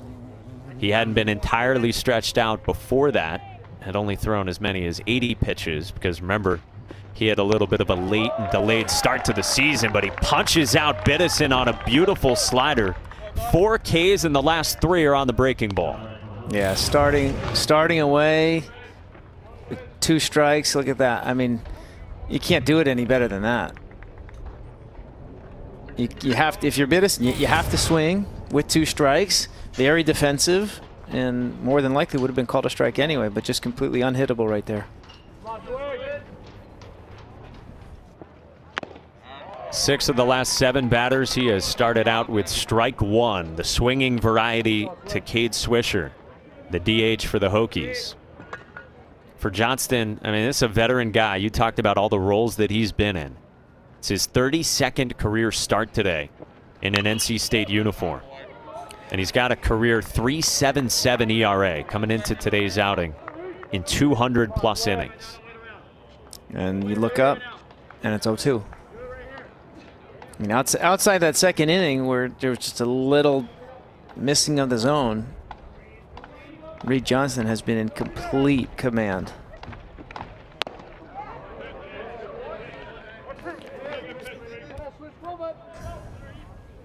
He said he had a late start to the year in terms of being in the starting rotation.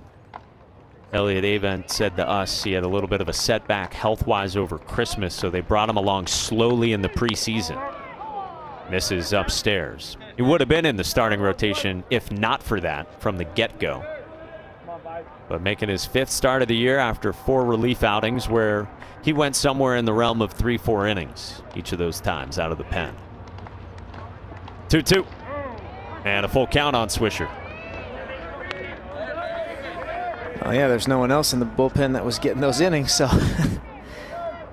I, I just still can't believe that five, only five pitchers on this staff with more than 10 innings.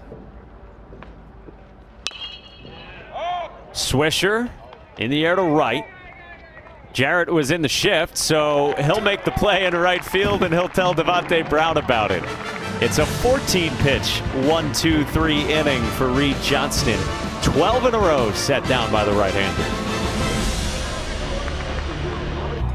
A look at the standings in the ACC coming into today. Louisville, of course, idle, unfortunately, with the Pitt series canceled for them, but they're still sitting atop the Atlantic and atop the conference. Notre Dame told you they won the series with a doubleheader sweep of Boston College yesterday. And there's Virginia Tech leading the Coastal.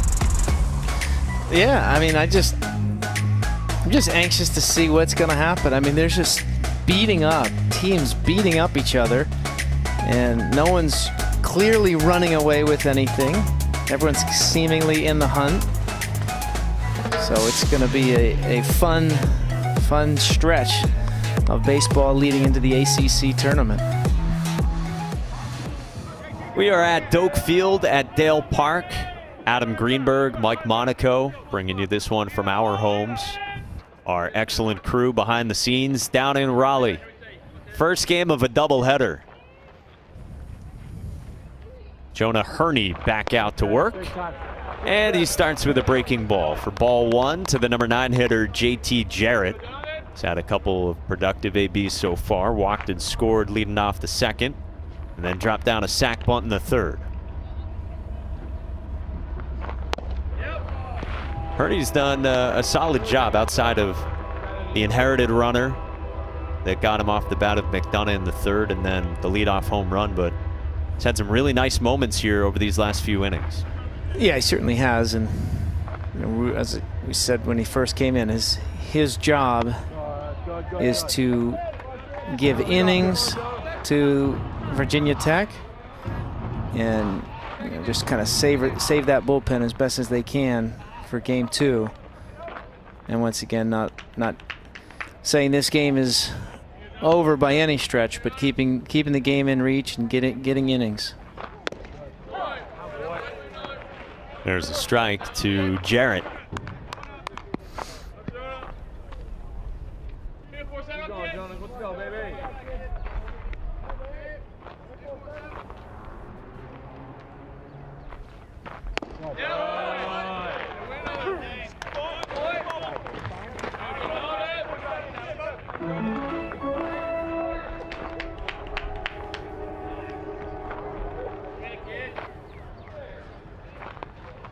Hurney's got his sign from Dane Leonard. The payoff. Foul ground. Kevin Madden. Nice play. And wait, good job by Hurney coming all the way back from 3-0. Do not want to give any free passes. So good job fighting back from 3-0. Back to the top now for Austin Murr affable chap. He's got a smile on his face. We enjoyed chatting with him earlier this week. Uh, he's a he's a big ACC baseball fan. He was telling us that he's been watching a lot of games throughout the year over on ACC Network. Not included was his ranking of favorite color analysts. but he did say play-by-play -play was number one in Mikey Monaco, right? Yeah, he was raving about uh, Mark Neely and Mike Morgan and Anish Shroff and Chris Cotter. He's behind nothing in two. A native of, as he told me, Stillwater, Minnesota. A little bit more so than Denmark Township. In Minnesota, right by the Wisconsin border. Leads the team in slugging. Came in with the OPS above a 1,000 out of the leadoff spot. Oh boy, that just missed from Hurney. Yeah, certainly did. But we've had we've had a tight zone all day. There haven't been too many pitches.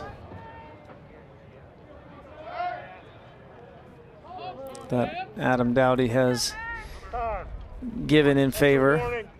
And see here's the here's the warning to Coach Szefc. Can't argue balls and strikes, so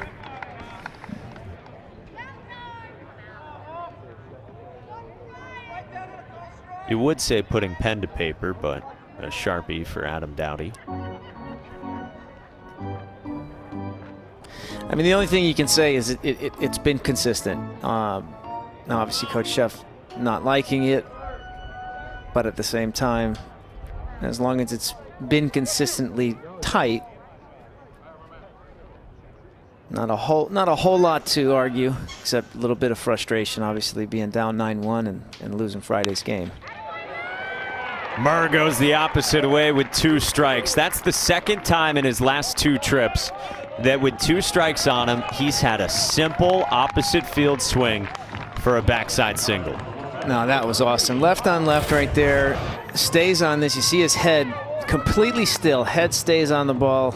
And he's, I mean, that's nothing you could do. I mean, not good pitch by Hurney, but even better job hitting by Murr.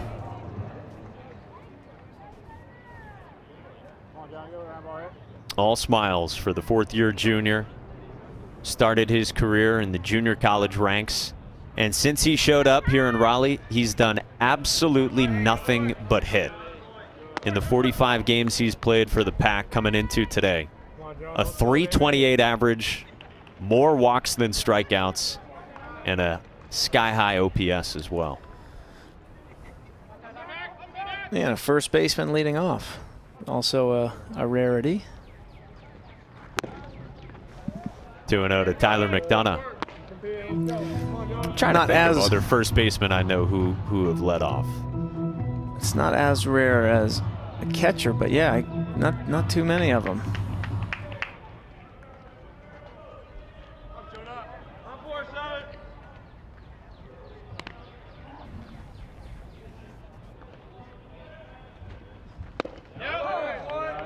Uh, if you're watching at home and you've got a good idea of a catcher who was a good leadoff hitter or a first baseman who was, please chime in on social media. We would love to hear the input. I'm well, trying Jason, to think. Jason Kendall. Ah, that's a good one. High OBP guy. I'm thinking now the first baseman though. I don't know can tweet at us at Adam Greenberg 10. Is that you on Twitter? Do you even know? oh yeah, I'm a professional retweeter of Mike Monaco.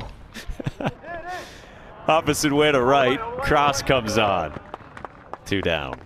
Or at Mike Monaco underscore at ACC Network. We will find it one way or another. But yeah, Kendall's a great pick. I mean, that's a, a multi-time All-Star behind the plate. Yeah. Yeah.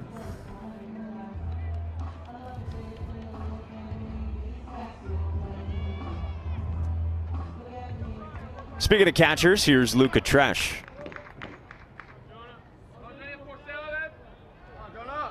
He's drawn a lot of draft praise and intrigue in recent weeks.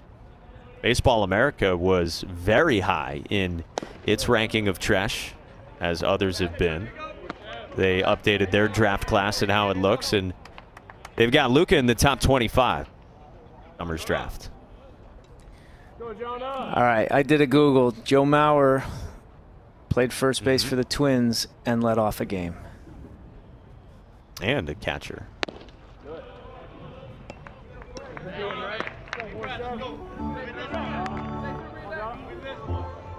These are the draft rankings from Kiley McDaniel, our expert ESPN baseball insider. He's got Luca at 45 and a really good crop of guys coming out of the ACC and where they slot into Kiley's top 100. Yeah, and there's no concern whether Luca Tresh can hit. the, the, concern, if there was a concern, was what is he behind the dish? And behind Pat Bailey, really didn't get too many opportunities. And starting to kind of solidify himself. I mean, second to none with work ethic. I mean, this kid is keeps his body in, in check and – works his tail off to make sure that he can catch every day and, and he can hit. I mean, in, in the fall,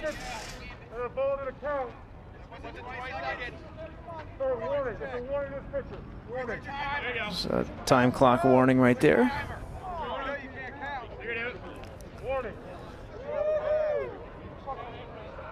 So anyway, Luca Tresh had just one incredible fall where where everyone was kind of laughing and joking about everything he hit off of was over 100 miles an hour.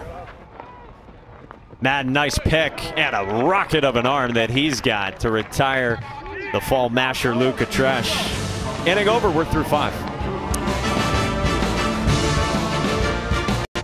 Our scoreboard around the ACC. We told you that Florida State and Georgia Tech had to finish up the last couple of innings of yesterday's middle game of the weekend series. Florida State held on and won and they are out to a lead on the flats in Atlanta in game three. And Florida State is thinking sweep. North Carolina's thinking the same. Miami trying to salvage the finale and leading 4 1 in the sixth inning.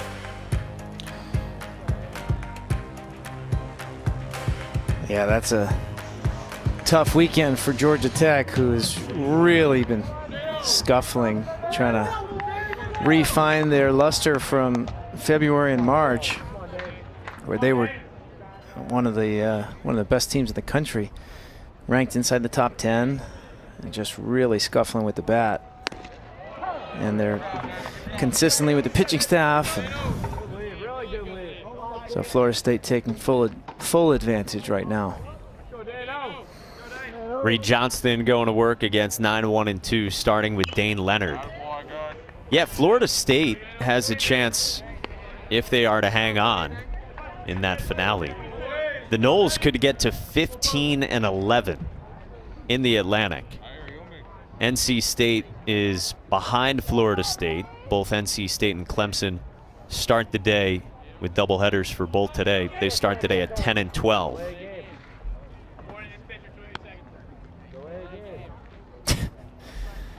Hear the uh, chirps about delay a game.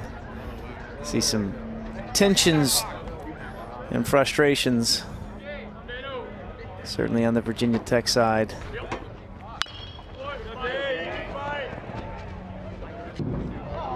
Almost a nice catch made in the seats. Let's let's get back for a second to Reed, Reed Johnston. Surprise, surprise, we got an 0-2 count. I mean, he is just a machine.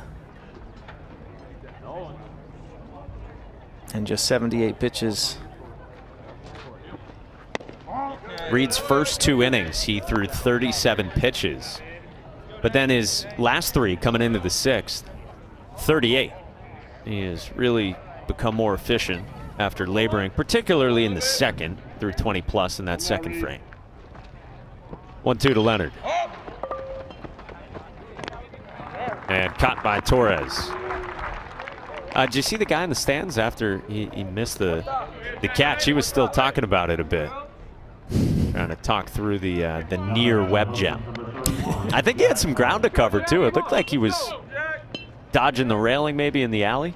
Yeah, it's not easy. The aisle. You got to you got to get to the railing, find it quickly.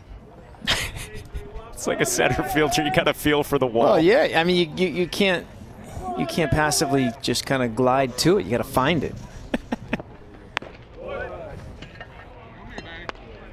I mean, if you're in the ballpark, you're going to get critiqued. I mean, you just you, you have to be there to learn. So this is a college ranks. You got to learn from your mistakes. how about how about the guy we had a few weeks ago? We were getting ready on a Sunday, much like today, two weeks ago to the day, as Jack Hurley bats for the third time, the leadoff man. We're getting ready to call Virginia at Clemson, and our cameras spotted a, a Clemson fan who was reading a book that was labeled and titled baseball. I mean, he was studying up so that he wouldn't get criticized by you in game. It, it, it, it's constructive criticism. It's, it's not. It's not being criticized. It's constructive. Big cut. Two and two on Hurley. This is the near play. Oh, kind of oh, float because you're kind of floating back. You, you, you I mean, that was almost brilliant. It was.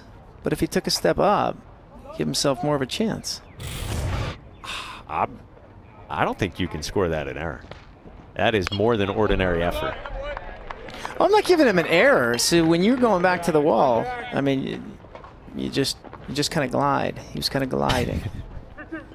but anyway, Hurley is a guy who's just so much talent, fast twitch guy, just really needs to cut down on the strikeouts and get a little bit more plate discipline, and he's going to have himself a heck of a career. Can't touch Johnston, who has his fifth strikeout, and no one has reached against Reed Johnston since the first two and the second got on. The slider just top of the zone. Those are those are the, some of the toughest pitches to hit. That that slider that stays up but breaks enough, or up in the zone breaks enough. 14 in a row retired by Johnston. And it's quickly nothing in two on Tanner Schobel, who struck out and then flew out to center to end the third.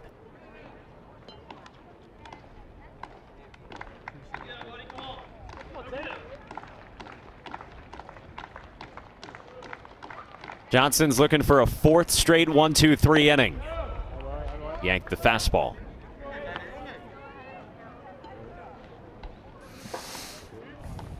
And Virginia Tech's just looking for a base runner, break it up.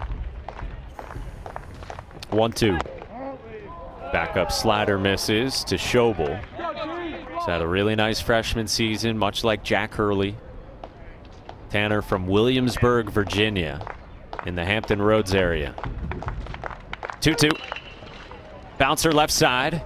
Mensik. 1 2 3 again. 15 in a row for Reed Johnston, having himself a day.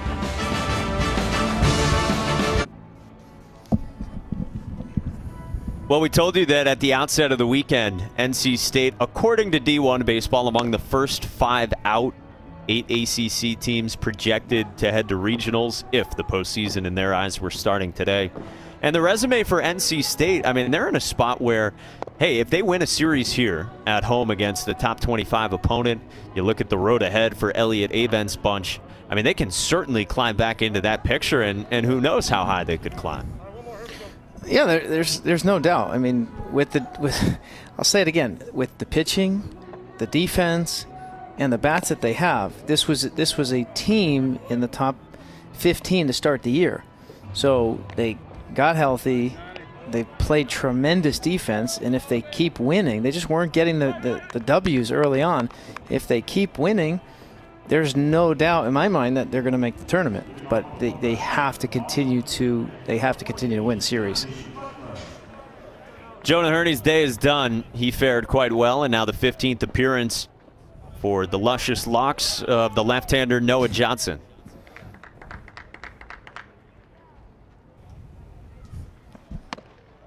And ball one to start out after Hurney went two and a third. One run ball, four hits, no walks, and a punch out. And another lefty follows. Third pitcher of the day.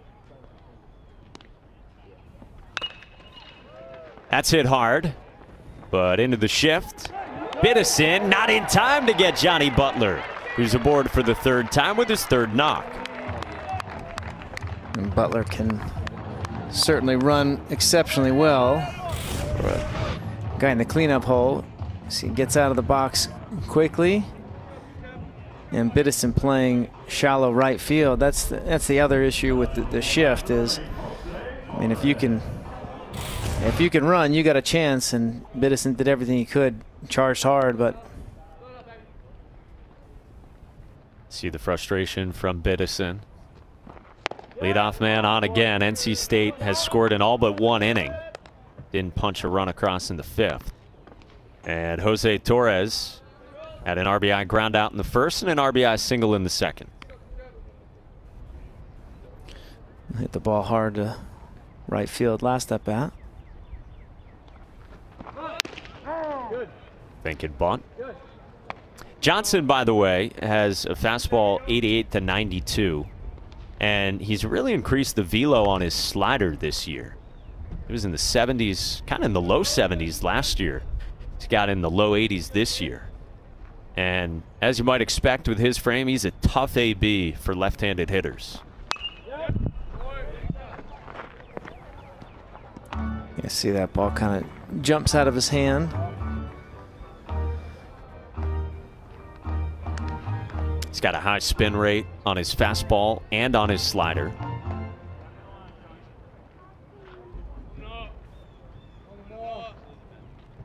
He's got the curly locks working. He's got the stash going. And a two strike count on Torres. And a swing and a miss.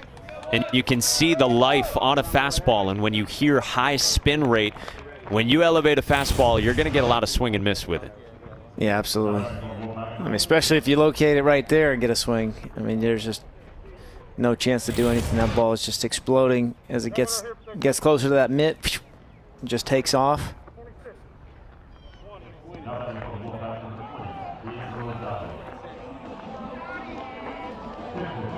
Well, we're going to get a pinch hitter here in the DH spot where Terrell Tatum was two for three with a two run single in the first and then an infield single his last time. This is DeAngelo Giles. Powerful right handed option. And he ropes the first pitch and dumps it into left for a knock. Two of the first three have reached off Johnson. And that's exactly the approach when you come into pinch hit. Aggressive, aggressive, aggressive. Get that bat off your shoulders early in the count. Get your first fastball. And do exactly what Giles just did right there. So Tatum came out more than likely because of the matchup, the lefty lefty matchup in Johnson. Just want to make sure that nothing was wrong with uh, with his hand and wrist.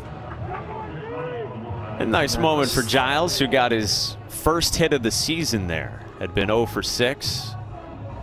And he'll get run for here.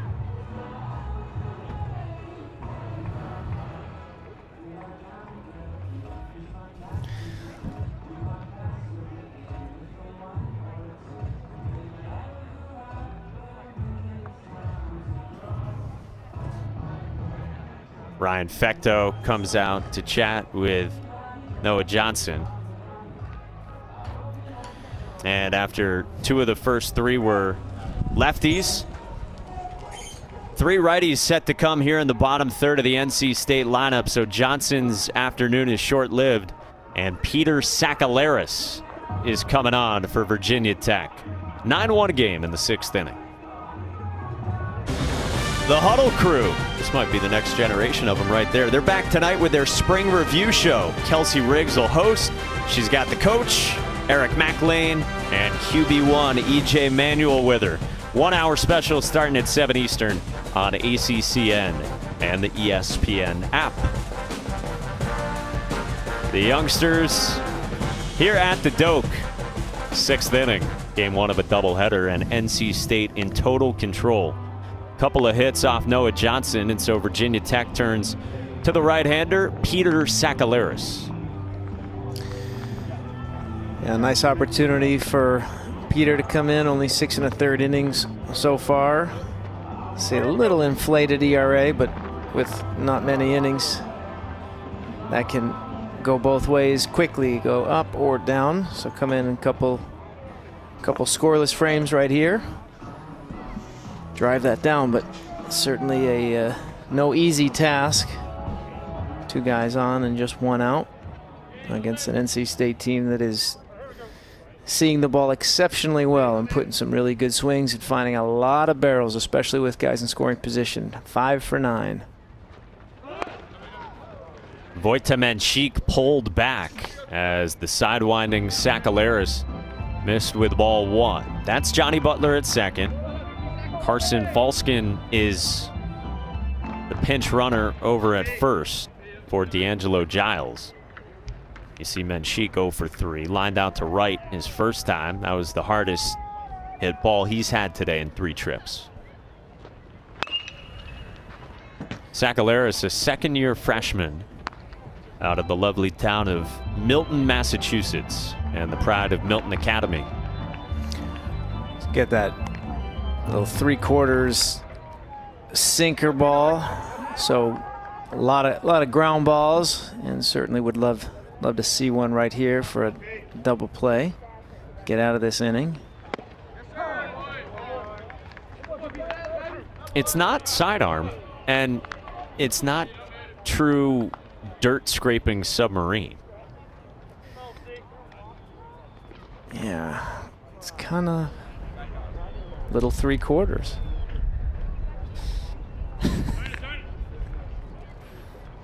Maybe like negative. Oh, that that was that was more submarine. That was a different. Well, what that is is a strikeout, out number two. I mean, that's nasty. He went he went down on that one. But that that's kind of the release point. We have to see that pitch and the pitch before, frame by frame. Get the Edgertronic cameras. Unless I'm missing something, it, it did look different.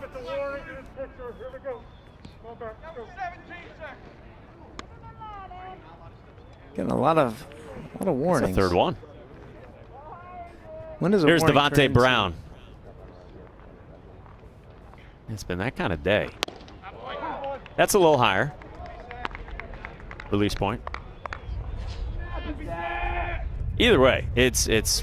I don't It's think fun. an enjoyable It's- experience. Yeah, It's no right, right on right. First time you face a guy like this, and and you're really looking, you're looking for a release point. So if you don't have a consistent release point, it makes it a little bit more challenging. high bouncer. Madden got rid of it quickly. Knocked down over at first. They back pick to second, and Butler bolts to the plate and he scores. So Virginia Tech got greedy with a throw down to second, and Johnny Butler heads up, adds to the NC State lead. What a baseball play. You see, high chop, really tough play for Madden with Brown running so well. Rumfield gives himself. I mean, I mean that's just that's just heads up right there by Butler. As soon as that ball was thrown, he's he's off.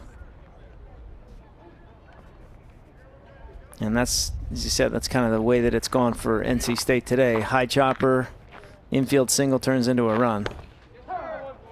Boy, and if anyone knows Elliott Avent, his heart is probably swelling at the thought of that play, that read, that sort of instinct from Johnny Butler.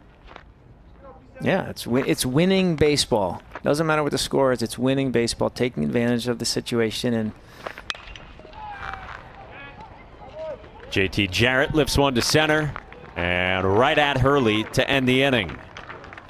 The pack adds on. It is 10-1 through 6. Heck of a day for Reed Johnston. Six innings of one hit ball for the veteran right-hander. I mean, he was nothing short of dominant. Six innings, one hit, one run. I mean, it's the, the one walk though. He was 0-2, 1-2, with the exception of that second inning where he just lost it just for a little bit. I mean, he walked Mark Madden. Um, just really wasn't in complete command, but everything else, he had all his pitches, his two-seamer. You see the breaking ball. And he was just throwing strikes. Um, pinpoint location. He was tremendous. Well, he'll give way now to Chris Villaman. Typically the midweek starter, but NC State this week did not have a midweek game. They did scrimmage on Tuesday of this week, but Villaman, a left-hander, can run it up to 94. Yeah, he's he's been really good and an opportunity here and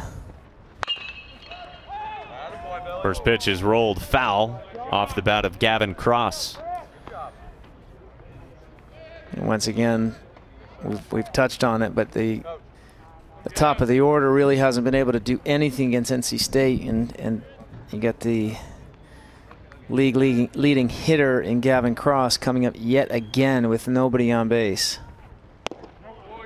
So and Cross has made good contact. He just hasn't had anything to show for it yet. Yeah, the, I mean, the first inning, he just missed a home run. I mean, I thought that ball was going to leave the yard. And next at bat, he had the ball right on the screws to Jarrett in shallow right field. So it, it, it has not been his approach or, or anything short of just he hasn't gotten hits. Goes the opposite way here, back toward the wall, and off the wall from Cross. He's got a wall ball double to lead off the seventh. The leader in hits with the average at 400 coming into the ball game. Yeah, and that's another ball hit on the screws. stays on. You just see just the way he stays on the ball right there. Head doesn't move, body's not going anywhere. I mean, just missed a home run. I mean, top of the wall. You can't hit it. Can't hit it any better. Can't hit it any harder. And Gavin Cross is just uh, certainly impressed. He is ultra impressive. He can chew his batting gloves and get them off as well. Second year freshman from Bristol, Tennessee, right by the Virginia border. John Szefc said to us, one of the better hitters in the country and one of the best left-handed hitters, John Szefc said, that he's ever been around in his time as a head coach and an assistant coach as well. TJ Rumfield drops one into left in front of Butler. Cross advances, and Virginia Tech's got him at the corners with nobody out in the seventh. Yeah, tough, tough luck right there for Villaman. But TJ Rumfield gets it, and you see Cross, really good job watching everything, he giving yourself an opportunity to get to third base. He's a really good base runner and runs pretty well, even though the offensive numbers might make you think otherwise. He's a guy that his goal is to play center field for Virginia Tech at some point. All right, so here's Kevin Madden, and he goes first pitch swinging into right field to score cross. Three straight hits to begin the seventh and greet Chris Villaman. Little life for this Virginia Tech team. I'm sure ecstatic to see Reed Johnston out. Stays on top of that ball. Yeah, all all three all three hits so far off Villaman the other way. Cross goes opposite field. Rumfield didn't hit it all that well, but still went opposite field, and there's Madden going the other way. Villaman pitched out of the bullpen Sunday at Notre Dame as well, and he scuffled in that finale. Only got four outs and gave up six runs, all of them earned on four hits. And he's getting a visit from the pitching coach, Clint Chrisco. With nobody out here in the seventh inning crazier things have happened in the Atlantic Coast Conference this year. We talked about Boston College earlier. Their Auburn comeback early on in the season drew plenty of national attention with what they did coming back from eight runs down. They've done that twice this year. And then Notre Dame was down 9 0 yesterday, sent 17 to the plate in one inning in the eighth inning. Here's Tanner Thomas. And that just misses for ball one.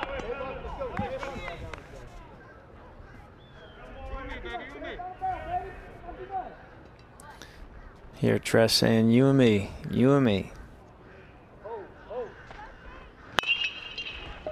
Bouncer right side, and that gets through as well. Rumfield will stop at third, and they've got Kevin Madden hung up between second and third, and that is a costly out. Yeah, it's a that's a tough one right there, but you you got to run with your head up.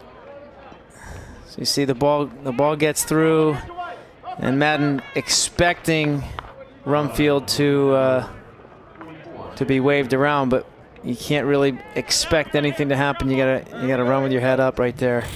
You see a little little frustration from Madden.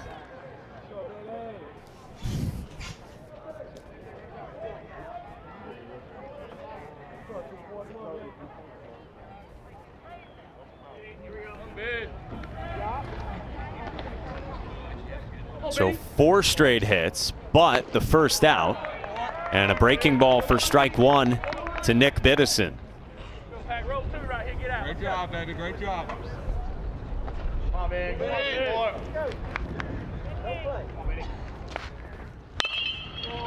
Biddison stings one to center. McDonough dives. Did he hang on to it? Rumfield comes to the plate and scores to make it 10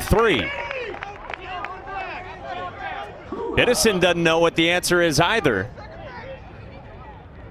And neither does Tanner Thomas. Some, some, somebody's got to make a call. That's that's a that's really tough luck if you're Biddison because he he dropped that ball. So you see, I it mean- appeared he dropped it. I mean, the ball comes right out, so it's not it's not a catch. Yep. And Tanner Thomas is still standing over at first base, so he could be a force out. Obviously, it's second. Yeah. I mean, th- th- this is tough because there was no real call, and Tanner Thomas, you mentioned, he goes back to first base. So one way or another, they're they can't just grant him the base. I mean, McDonough only needed to throw it to second base for the force out. Well, I, I suppose if they had called it a catch, and so watch the second base umpire, David Brown. It's tough to It's tell. out of, it's out of the frame. Yeah. So, out. but I mean, if they're calling it a catch, and if it were to go to review, then there's a scenario in which perhaps Virginia Tech could still have first and second. I don't think so. I, I, how how can you? You can't just give him the base. I mean, because the ball's cut off. So where Tanner Thomas goes back to first, you can't just. I mean, the ball's thrown to the cutoff man. All he has to do is throw it to second base, and he's still out. So the I mean, honestly, from a hitter's perspective, the only thing that matters, or if you're Biddison, is you're either uh, a ground ball force out or a sack fly. So one is against your average, one is not. So, but frustrating nonetheless because that play needed to be called dramatically, um, catch or no catch, because Tanner Thomas is the one that really needed to make that decision of what he was going to do. Well, you can obviously sense the frustration of Virginia Tech throughout the day. And after Kevin Madden got hung up between second and third for the first out, very well might be two down for Virginia Tech with a couple of outs on the base paths. And Tyler McDonough nearly made the diving catch. It was tough to tell. Yeah, but I, I- just don't see what, what you're going to what you're going to call. I get what you're saying. Umpire's having a look at it right now. So uh, obviously there was no catch made, so you, you can't call Biddison out. Here we Let's go. see. So it, it looks like they're giving Thomas second and Biddison Whoa. first.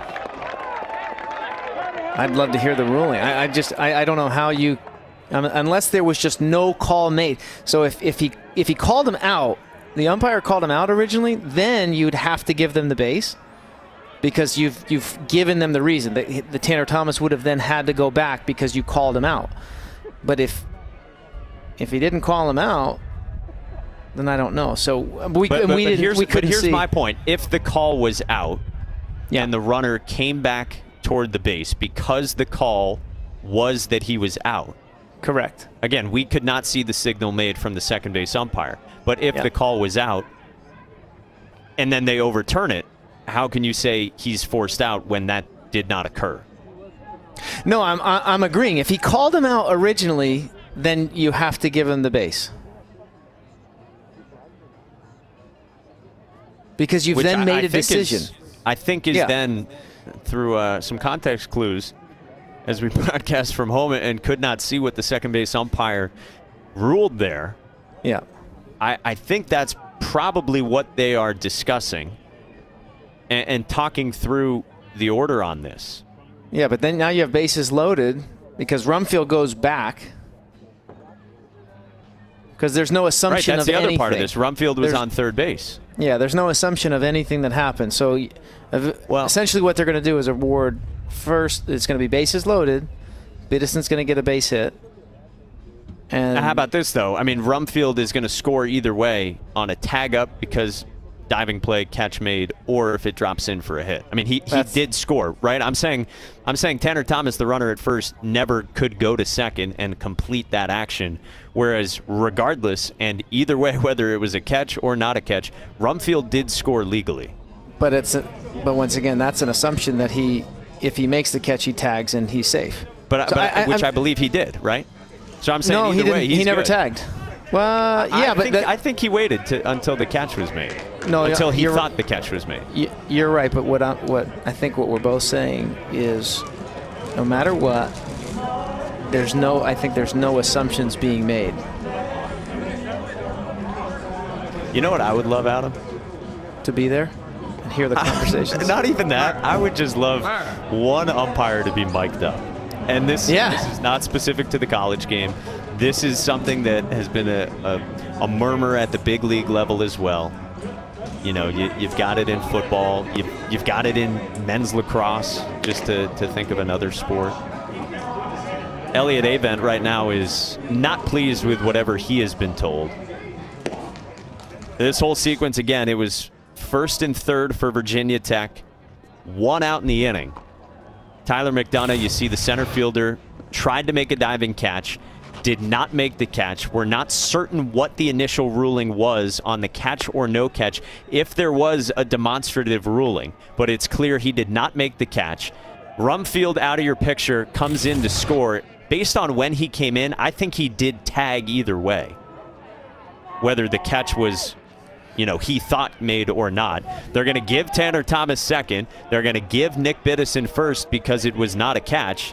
So no out on the play. First and second for Virginia Tech, and the run scored. And Rumfield scores. Okay, there we go. Whew. Ball one after all of that from Chris Villaman, who tried to stay sharp by throwing a bit with Luca Tresh behind the plate. I'll say this. I, I I think they got that right as best you can in that situation. Agreed. I mean, cut he- from Cade Swisher. Yeah, he dropped the ball. So, for all intents and purposes, should be a base hit. It's a very tough read no matter what if you're Tanner Thomas. But you would be more than kind of like that halfway point. So, as soon as you see that ball or the, the sign, he didn't make the catch, you're bolting towards second base. And Biddison was even confused himself. And, you know, we were a bit too, waiting to. I mean, I think you saw the ball pop out from McDonough a little quicker than I did, but you're waiting on a signal, too, to know for sure. And, and Tanner Thomas is a fifth year senior, very veteran guy. Two and two the count on Swisher. Well, in any event, if you're Swisher, you're trying to take full advantage of this opportunity that, that Virginia Tech now has. They're not out of this game. You got some some life, some energy, and now a full count.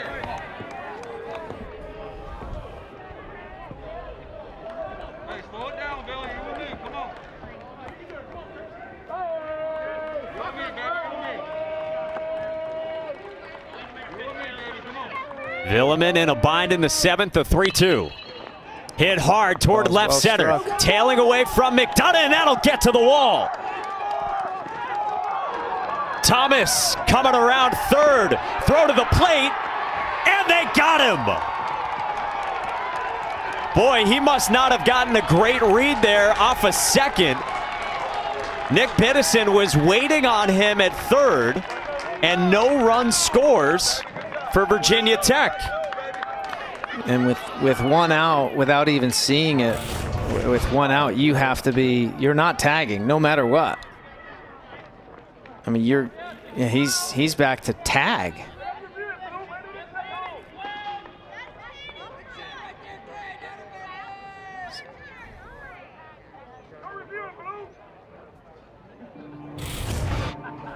Wow. That is a, a huge break for NC State.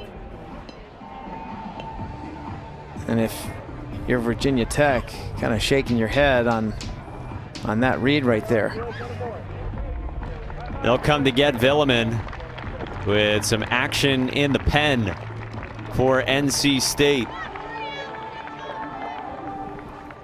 Six hits in the inning from six batters, yet we've got two outs and a new pitcher coming in for NC State after this.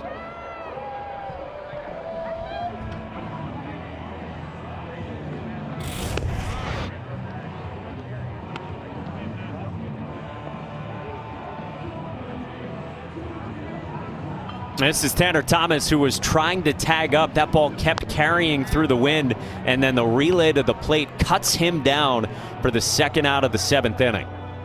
Yeah, and, and, right here, if if you're Thomas, there's there's one out, and ball's in front of you, so you can see what's happening.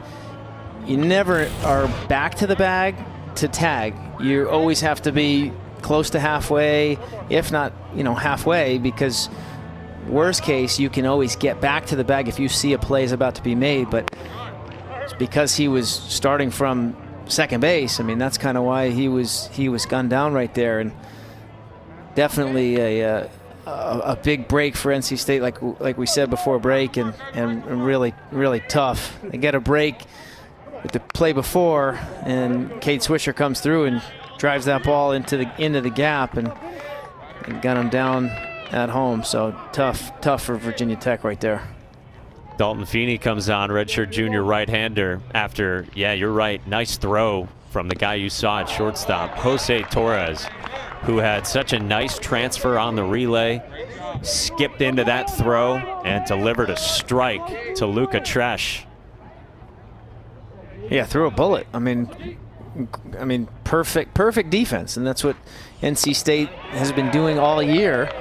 Touched on it, 985 fielding percentage, but headsy base running, good defense, good relays. I mean, this is a, obviously a well-coached team, and that, that's winning baseball take advantage of all opportunities. And again, no runs scored there, so it's 10-3 here in the seventh. And a strikeout as Dane Leonard goes down swinging and Dalton Feeney makes quick work and strands two in scoring position. So after six straight hits, a strikeout ends the seventh.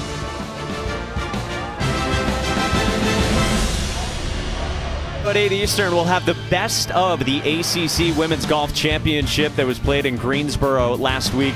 You can watch the one-hour recap right here on ACCN or the ESPN app. Duke took home its 22nd overall ACC Women's Golf title. They were probably dancing about it as well. They're first in the new match play format with Gina Kim, the ACC individual champion. Well, it's stretch time here at Doak Field at Dail Park. We go to the bottom of the seventh. Game one of two in the doubleheader. Can understand a little bit of a yawn here. Got a lot of baseball to go. Oh, nice catch.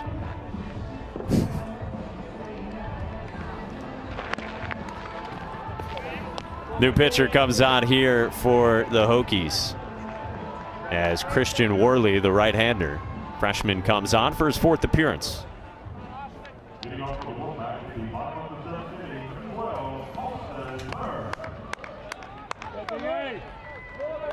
Fifth pitcher of the day for Virginia Tech. Game that was started by Anthony Simonelli. Two and two thirds innings and the seven runs. And first pitch swinging from Austin Murr. Fifth time through the NC State lineup. And Murr has singled the opposite way each of his last two trips. Good breaking ball.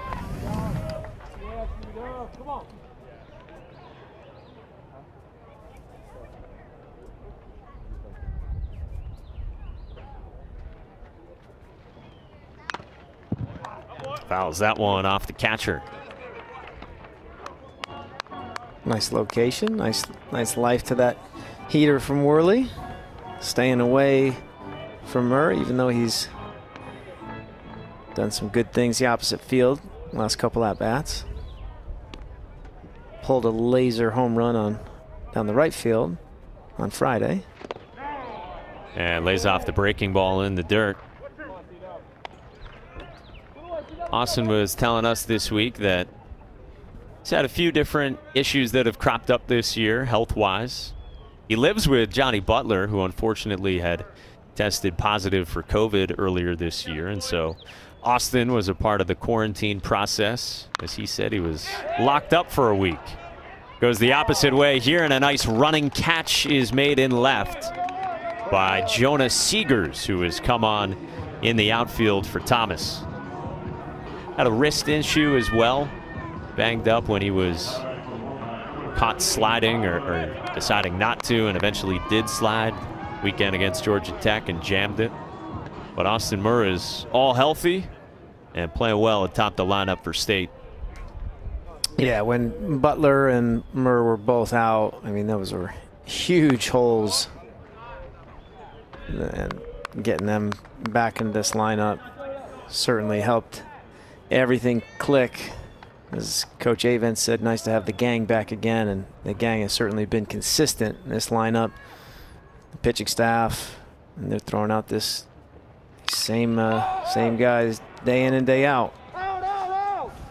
It might be as good a top two in the lineup as anyone's in the ACC, with Austin Murr at the top and this guy, the switch hitting Tyler McDonough, batting second. You can certainly argue that.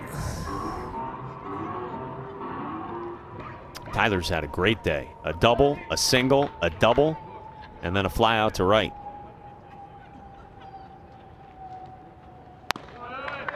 Two balls and a strike on the native of Liberty Township, Ohio, just outside of Cincinnati. He went to Moeller in Cincy. Very well known and highly regarded program. Went to high school with Miles McBride, Deuce McBride, the West Virginia basketball star. It's a program that has served NC State quite well through the years. Gave him Andrew Brackman, first rounder of the Yankees in 07, and Eric Surkamp, three year starting pitcher for the Pack.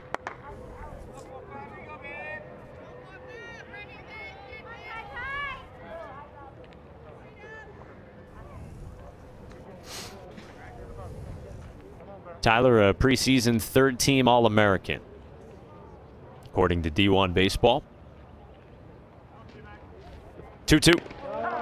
Strike three called.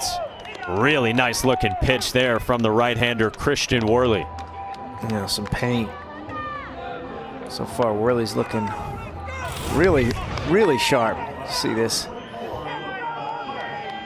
heater right on the black. So come on, done a nice job so far against Murray McDonough. Two out, no one on for Luca Tresh, number three hole hitter, and the catcher has walked twice, then flew out to center and grounded out to third to end the third and fifth innings, respectively. And Worley's looking for a quick inning.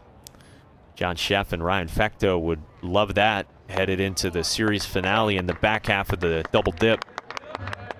And there's always always silver linings in in any game, but we'll see if Worley uh, Worley can get through this tough, tough top of the top of the order. Be a nice little silver lining. Add an arm.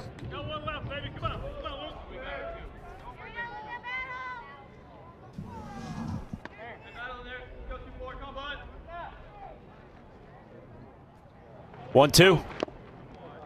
Tresh didn't chase.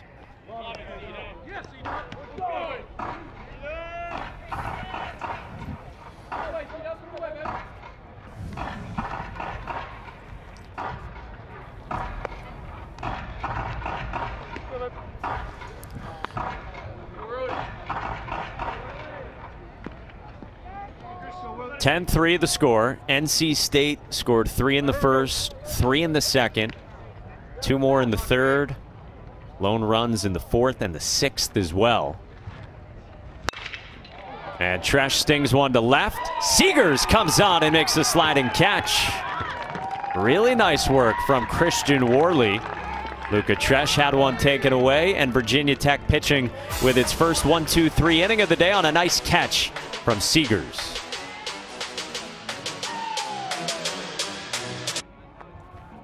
The ACC's Committee for Racial and Social Justice, in conjunction with its member institutions, have identified this week, April 18th through today, as ACC Unity Week.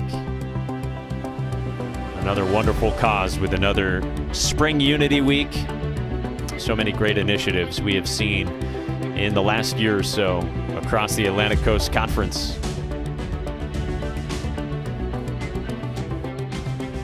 NC State Everyone wearing 26, honoring the late Chris Combs. battled so valiantly, persevered in such a distinguished way against ALS, a truly wretched, wretched disease. And the cutout of Chris Combs, former All ACC standout behind home plate.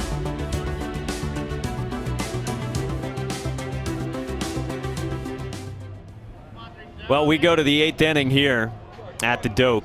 Adam Greenberg, Mike Monaco, our entire crew with you. Game one of the doubleheader. A reminder you can watch game two over on ACC Network. A scheduled start time, somewhat tentative, depending on when this goes final. Uh, 4 p.m. Eastern Time. Hope you'll join us. This is the leadoff spot in the Virginia Tech lineup after they got two runs in the seventh. And Jonah Seegers batting for the first time in place of the center fielder Jack Hurley.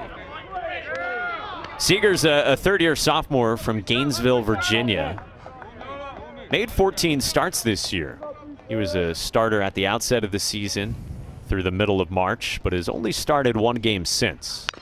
And getting his first action today for the first time in two and a half weeks. But a very good athlete and a very patient hitter as well. He's got an OBP above 400. Yeah, he came in, made really nice play last inning on Tresh. That rides up and in out of the right arm of Dalton Feeney.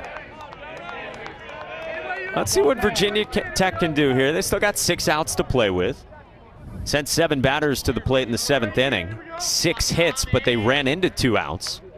And that doesn't even mention the controversy we had on the ball hit to McDonough in center. Full count was, after the cap went flying from Feeney. It was a strange inning, to say the least. Six, six hits, only two runs. He said ran into two outs. That's hit hard and foul down the line at third.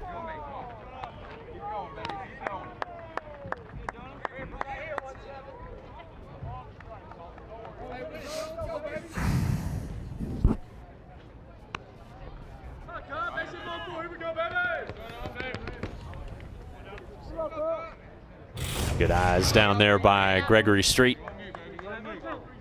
See, just foul. 3 2 again. And Seegers, we told you he's patient. He works a leadoff walk to begin the eighth inning. Nice at bat. Seegers come in, had a nice little impact already, diving catch. Works himself a leadoff walk, which never leads to anything good. if you're NC State.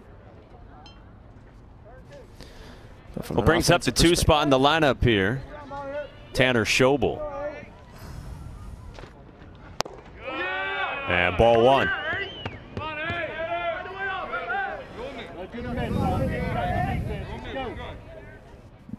Tanner so far 0 for 3. A strikeout, a fly out to center, and a ground out to third.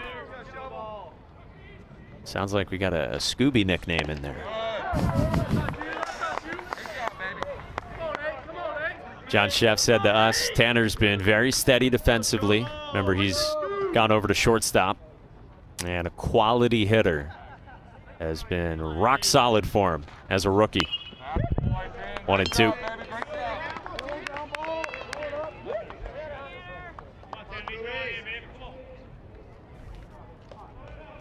Virginia Tech's been able to get some knocks when they've had runners aboard in this game.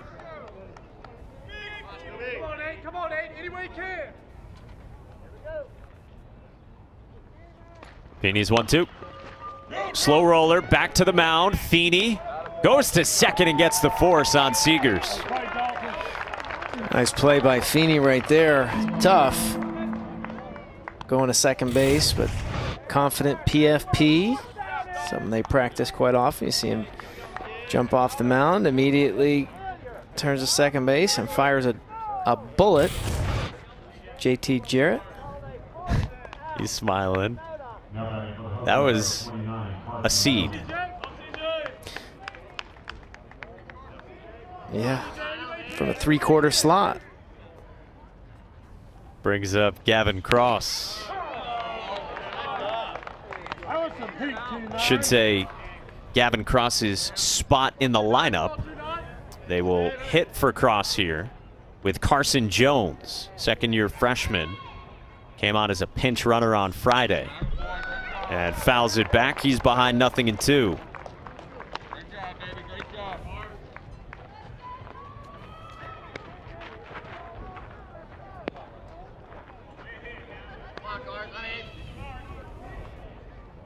10 for 45 this year. OPS a little over 600. A home run and seven driven in from the Richmond area. And Jones couldn't hold up. It's a strikeout for Feeney, and there's two away. Nasty slider. Jones come in off the bench.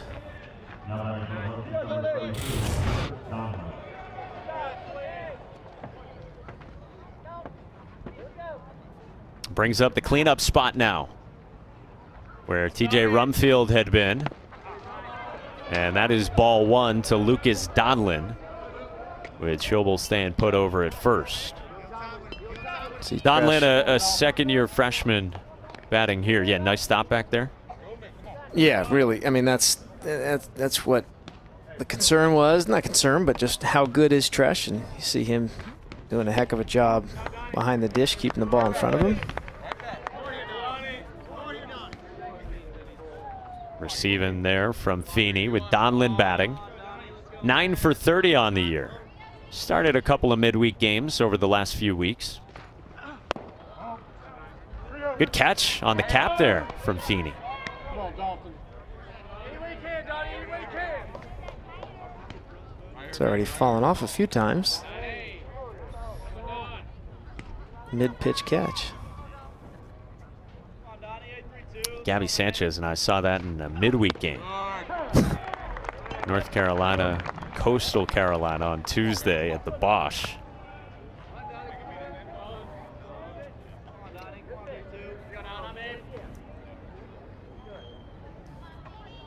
Three one goes all the way to the backstop, and it's ball four. We've seen some batting helmets that might not be the most snug fit in the ACC elsewhere this year. Seen a little bit of everything. Teel. Kyle Teel, right? Yep. I, ha- I have not found out if they've gotten to the bottom of that yet. Well, I'm intrigued about Virginia's this. in action right now on ESPN. I'm intrigued about this uh, this hat with Feeney. I mean, it's come off three three or four times. Every every pitch, it looks like it's falling off. He caught one mid pitch.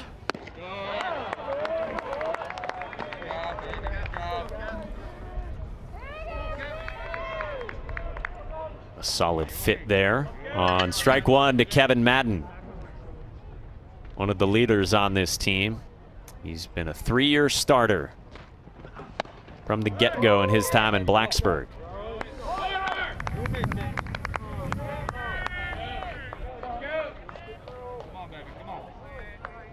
Been aboard twice as well in this one.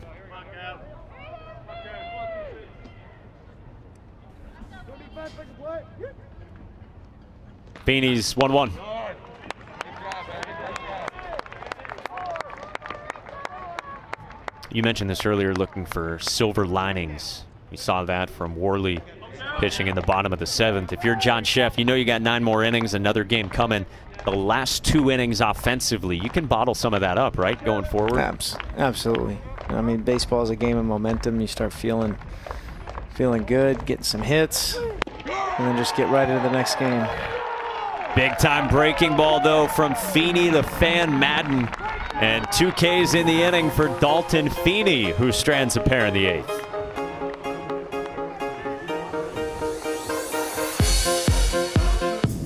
Thursday, 8 p.m. Eastern Time. It's the start of the NFL Draft, where the college football stars will find out where they are headed to the National Football League.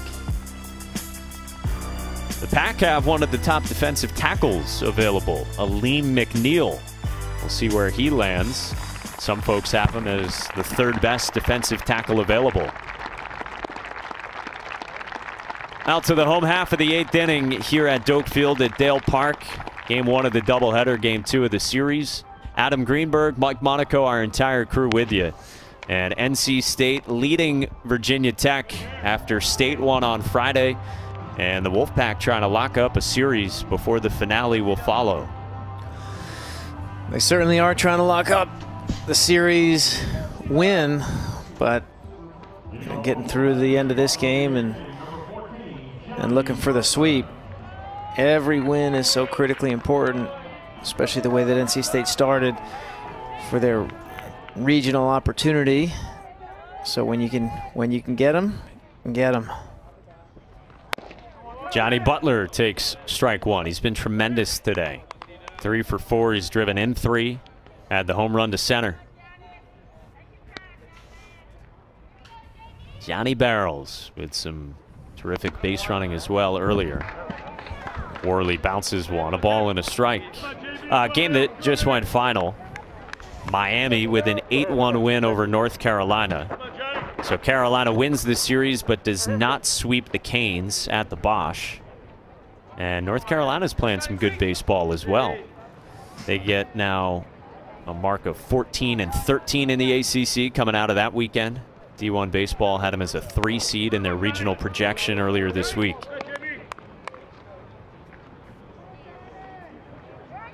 Yeah, it's just it's just been a grind. It's been a battle for the whole league all year. There, there really only appears to be a couple teams that are kind of out of contention. See, Duke is getting close to out of contention. Wake and Boston College, and I'd say everyone else has a has a shot. And that ball's crushed. Butler smacks this one to right, and Johnny Butler's got his second home run of the ball game. A mammoth blast and his fourth hit of the day. Another leadoff shot for Johnny Barrels.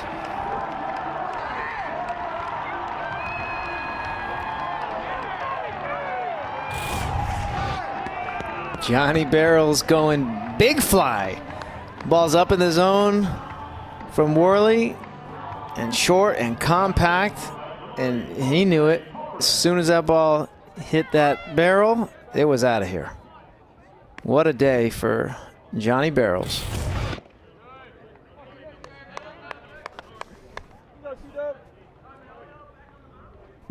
That thing was cooked into the trees in right.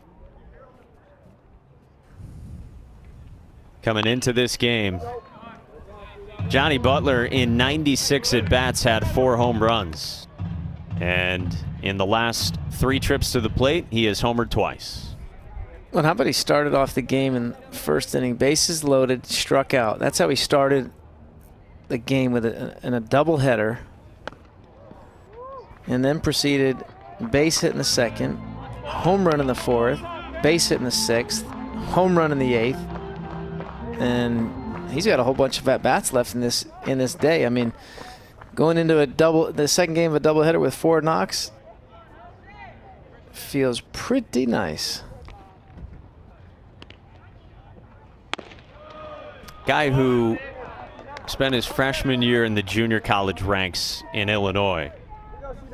But now a third year starter here for the Pack. This is his 104th career start. Got off to a really nice beginning to his season last year before the shutdown. And man, what a year he has had. And you think about him and Murr and McDonough, and if Tresh can get back to the guy he was at the outset of the season, if Torres can heat up a bit on the offensive side of things, man, there's some serious length. And all of a sudden, you'll start getting the NC State team that everyone was, you know, pegging as a, a top 15 team in the country at the outset of the year. I, I mean, I'm seeing it. Absolutely. Um, I mean, top top to bottom, as you mentioned, this team can this team can mash, and they've got the defense. Touched on that, and their starting pitching is as good as anyone. So, all the pieces to the puzzle certainly are there. So if, as long as they keep getting those W's, they're they're going to be there. Oh, Worley will exit after he did really nice work in the seventh. We'll tell you about the pitching change when we come back to the Doak with Nolan Wilson coming on. Home half of the eighth inning and a pitching change for Virginia Tech. Their sixth arm of the day is the right-hander Nolan Wilson comes on for Christian Worley here. Faced a couple of batters, but Johnny Butler homered and then Jose Torres worked a walk. And Nolan Wilson converted catcher with an above average spin rate, which one would imagine. Got to throw that ball to second base, get good carry, good life, and de decent depth with his curveball. Getting an opportunity here, only has two innings on the year. So, opportunity for Nolan to uh, get some work, show what he can do.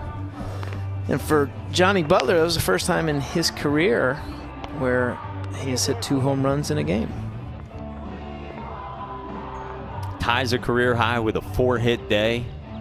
And you said all coming back after that strikeout against the starter for Virginia Tech, Anthony Simonelli. A couple of former Juco guys there, Johnny Butler and Austin Murr, good pals. Chatting it up and feeling good with NC State in control against the Hokies. How many two home run games you have in college? Any that you recall? I know you hit a bunch of bombs your junior year, right? I had a, f- I had a few. We can go back and check. I had one with three. Push-ups. You had a three I home run game? Yeah, you can go and baseball reference it. 17 sure- make bombs sure- as a junior for you. Make sure it really happened.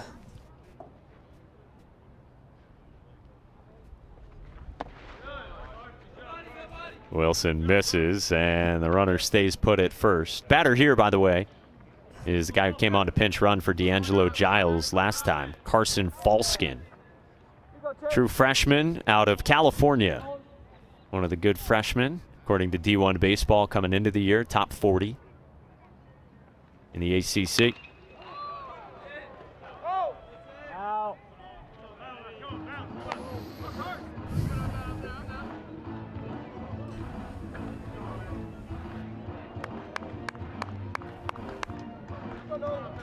I got you down at least for a, a two home run game against Coastal Carolina in 2002. I'm not doubting you. I'm just, uh, I've got more research to do. Yeah, keep working.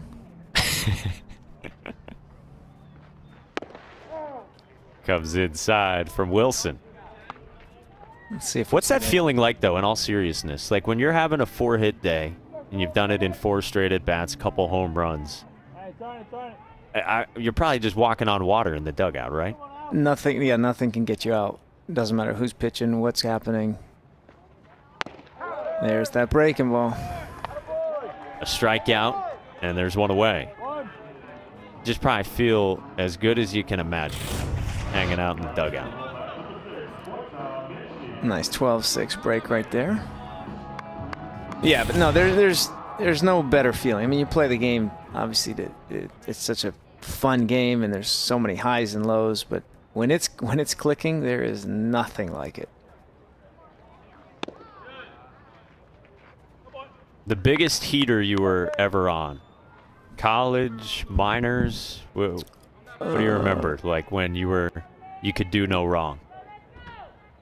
Ooh, I'm testing your memory here. well, there was a. I'm gonna go back to a spring training game against Rob Nen. I took a 99 mile an hour fastball deep in, when he was down. Doing not not rehab, Rob Nent, just Rob Nent work. did you say? Yeah, I did. I name dropped. It's a that's a long time ago, so a lot of people listening probably don't even know who it is. Rob with two B's. Yeah. Three-time big league All-Star.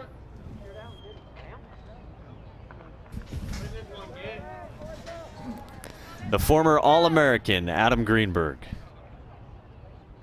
Junior year at North Carolina in 2002. Uh, I'm told you also had a lot of triples and stolen bases. If the ball was hit into the outfield, and this is, I try to teach it. Ball's hit in the outfield, it's a triple. You, you just think you you go. That's what you because you're everyone was coasting into second base. They give up a base. That misses, and Vojtech works a walk. So out of the box, you're thinking, I'm going to be sprinting until what, like a third of the way around second if I need to slam on the brakes there? Well, it's more. It's not even that. It's just more go hard. Like the ball's in the outfield. My thought was three. So I'm. I mean, I wasn't a big rounding guy. Like I didn't take a huge round, uh, like in foul territory at, at first. I was more straight to the bag, boom, as fast as I can. So I'm already in my turn going to third base.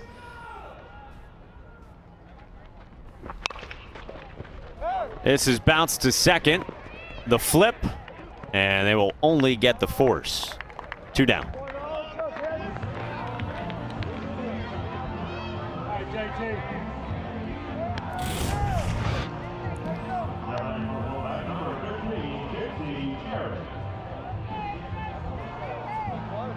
Torres over to third, so runners at the corners here with two away in the home half of the eighth inning as Brown bounced into that.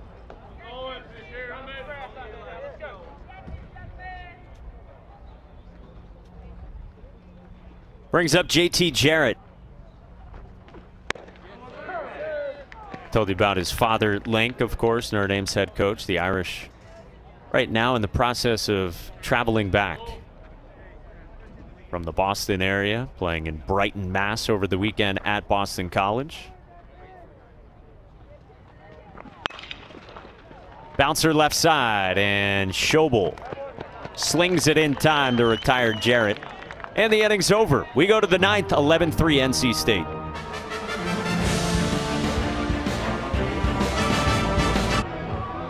Ninth inning at the Doak.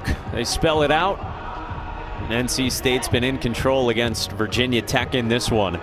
11-3 the advantage, and the Wolfpack are trying to lock up a series win before the finale in the back half of the doubleheader. Coming soon after this one goes final. Dalton Feeney still out there working for NC State, and he is facing the right-hand hitter in Fritz Genther. Again, the year is the starting shortstop.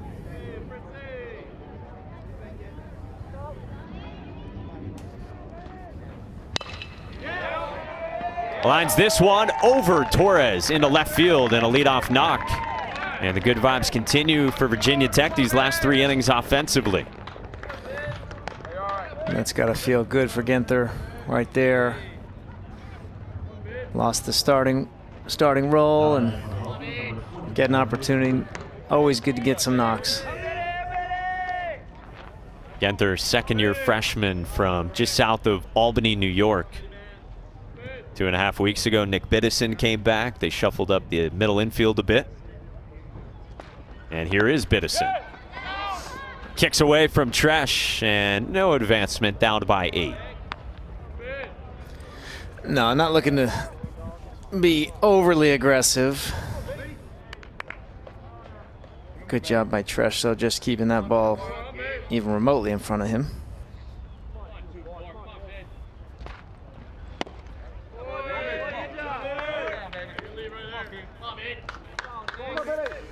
NC State pitching wise, they got six innings of one hit ball from Reed Johnston through 91 pitches. Chris Villaman came on in the seventh, ran into trouble.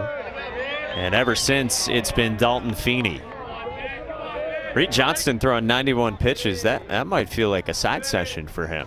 Yeah, I'm wondering if he's going to come in relief in game two.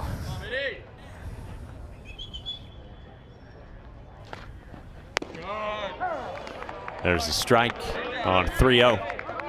I mean, I, I guess there's you, you have to throw some of your guys at some point, but I mean the way that he was going, he was just he was dominant. Full count. We expect to see for NC State the right-hander Matt Willadsen in the back half of the doubleheader. And for Virginia Tech, expect to see the left-hander Shane Connolly, the transfer from the Citadel. 3-2. And Biddison strikes out. Out number one in the ninth inning.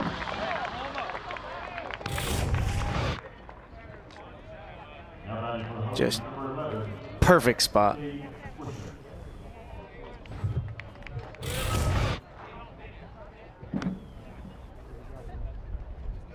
Great stuff from Feeney. You see his four strikeouts since he came on in the seventh. And he starts out with ball one to Cade Swisher. For Virginia Tech, meanwhile, staring down back-to-back -back series losses. Dropped two out of three against Georgia Tech in Blacksburg last weekend. Fell 15-11 in the first game. Came back and won Saturday behind that great Simonelli start. And then fell Sunday in the finale in the rubber game 11-4. Did have a midweek win against VMI on Tuesday when they came from behind in the late innings. Two and one.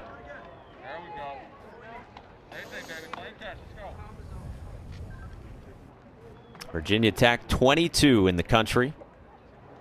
Unranked to begin the year.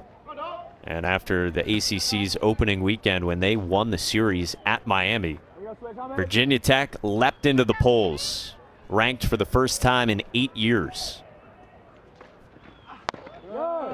Three balls and a strike as the Hokies continue to work counts. Lot to like offensively the last few frames, like we said.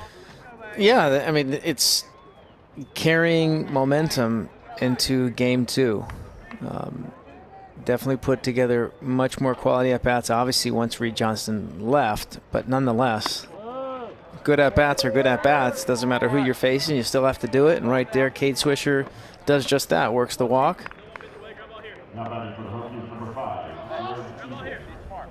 Well, this is one of a couple doubleheaders going on in the ACC today not including Florida State and Georgia Tech, who had to resume the game yesterday that got suspended in the eighth inning. But down in Clemson, South Carolina, the Tigers are hosting Wake Forest for a doubleheader today. And just moments ago, Clemson walked off in game one of the doubleheader, and they secured the series win because Davis Sharp hit a walk-off two-run home run for Clemson they didn't play yesterday. They won the opener on Friday, and they have claimed the series. And Sharp hit a tank. Yeah, uh, Clemson was scuffled last couple of weekends, and they were they were right at the cusp of breaking that top 25 and really being in contention. And sure enough, they come back this weekend and win a series. So it's kind of how it's how it's been for the ACC. That really the middle of the pack is just beating up each other. And a neat moment for Sharp, who has had to deal with injury issues as it relates to pitching this year. A very talented two-way player and a preseason All-American who hasn't yet really got it going with the bat, too. And an awesome moment for him in walk-off fashion against Wake Forest. Garrig Ebel, the freshman catcher, lifts one to center. And NC State is one out away from a series win.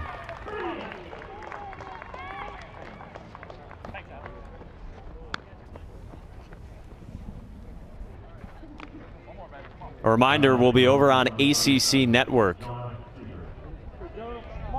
for the final game of this series, the back half of the doubleheader. 4 o'clock Eastern time. As they say, the top of the hour. We will get that one started after some lacrosse being played right now over on ACC Network. Big thanks to our crew today, by the way. They'll be with us for that game as well. The masterminds who make it all happen, steering the ship, led by Matt Curry, our producer, Josh Monk, our director, and the whole squad in Raleigh.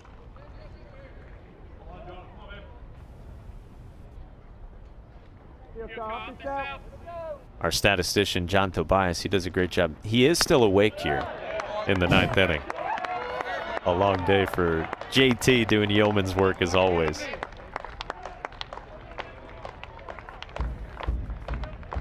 Second trip to the plate for Jonas Segars, who walked his first plate appearance leading off the eighth inning.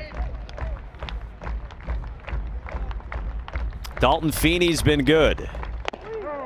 And Segars doesn't chase. Just missed. Good, good miss though with two strikes. Just off the plate.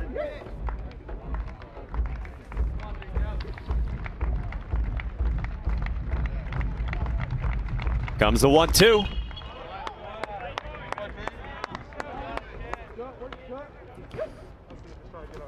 Mentioned Seager really good approach, patient, works counts, takes good, takes tough pitches.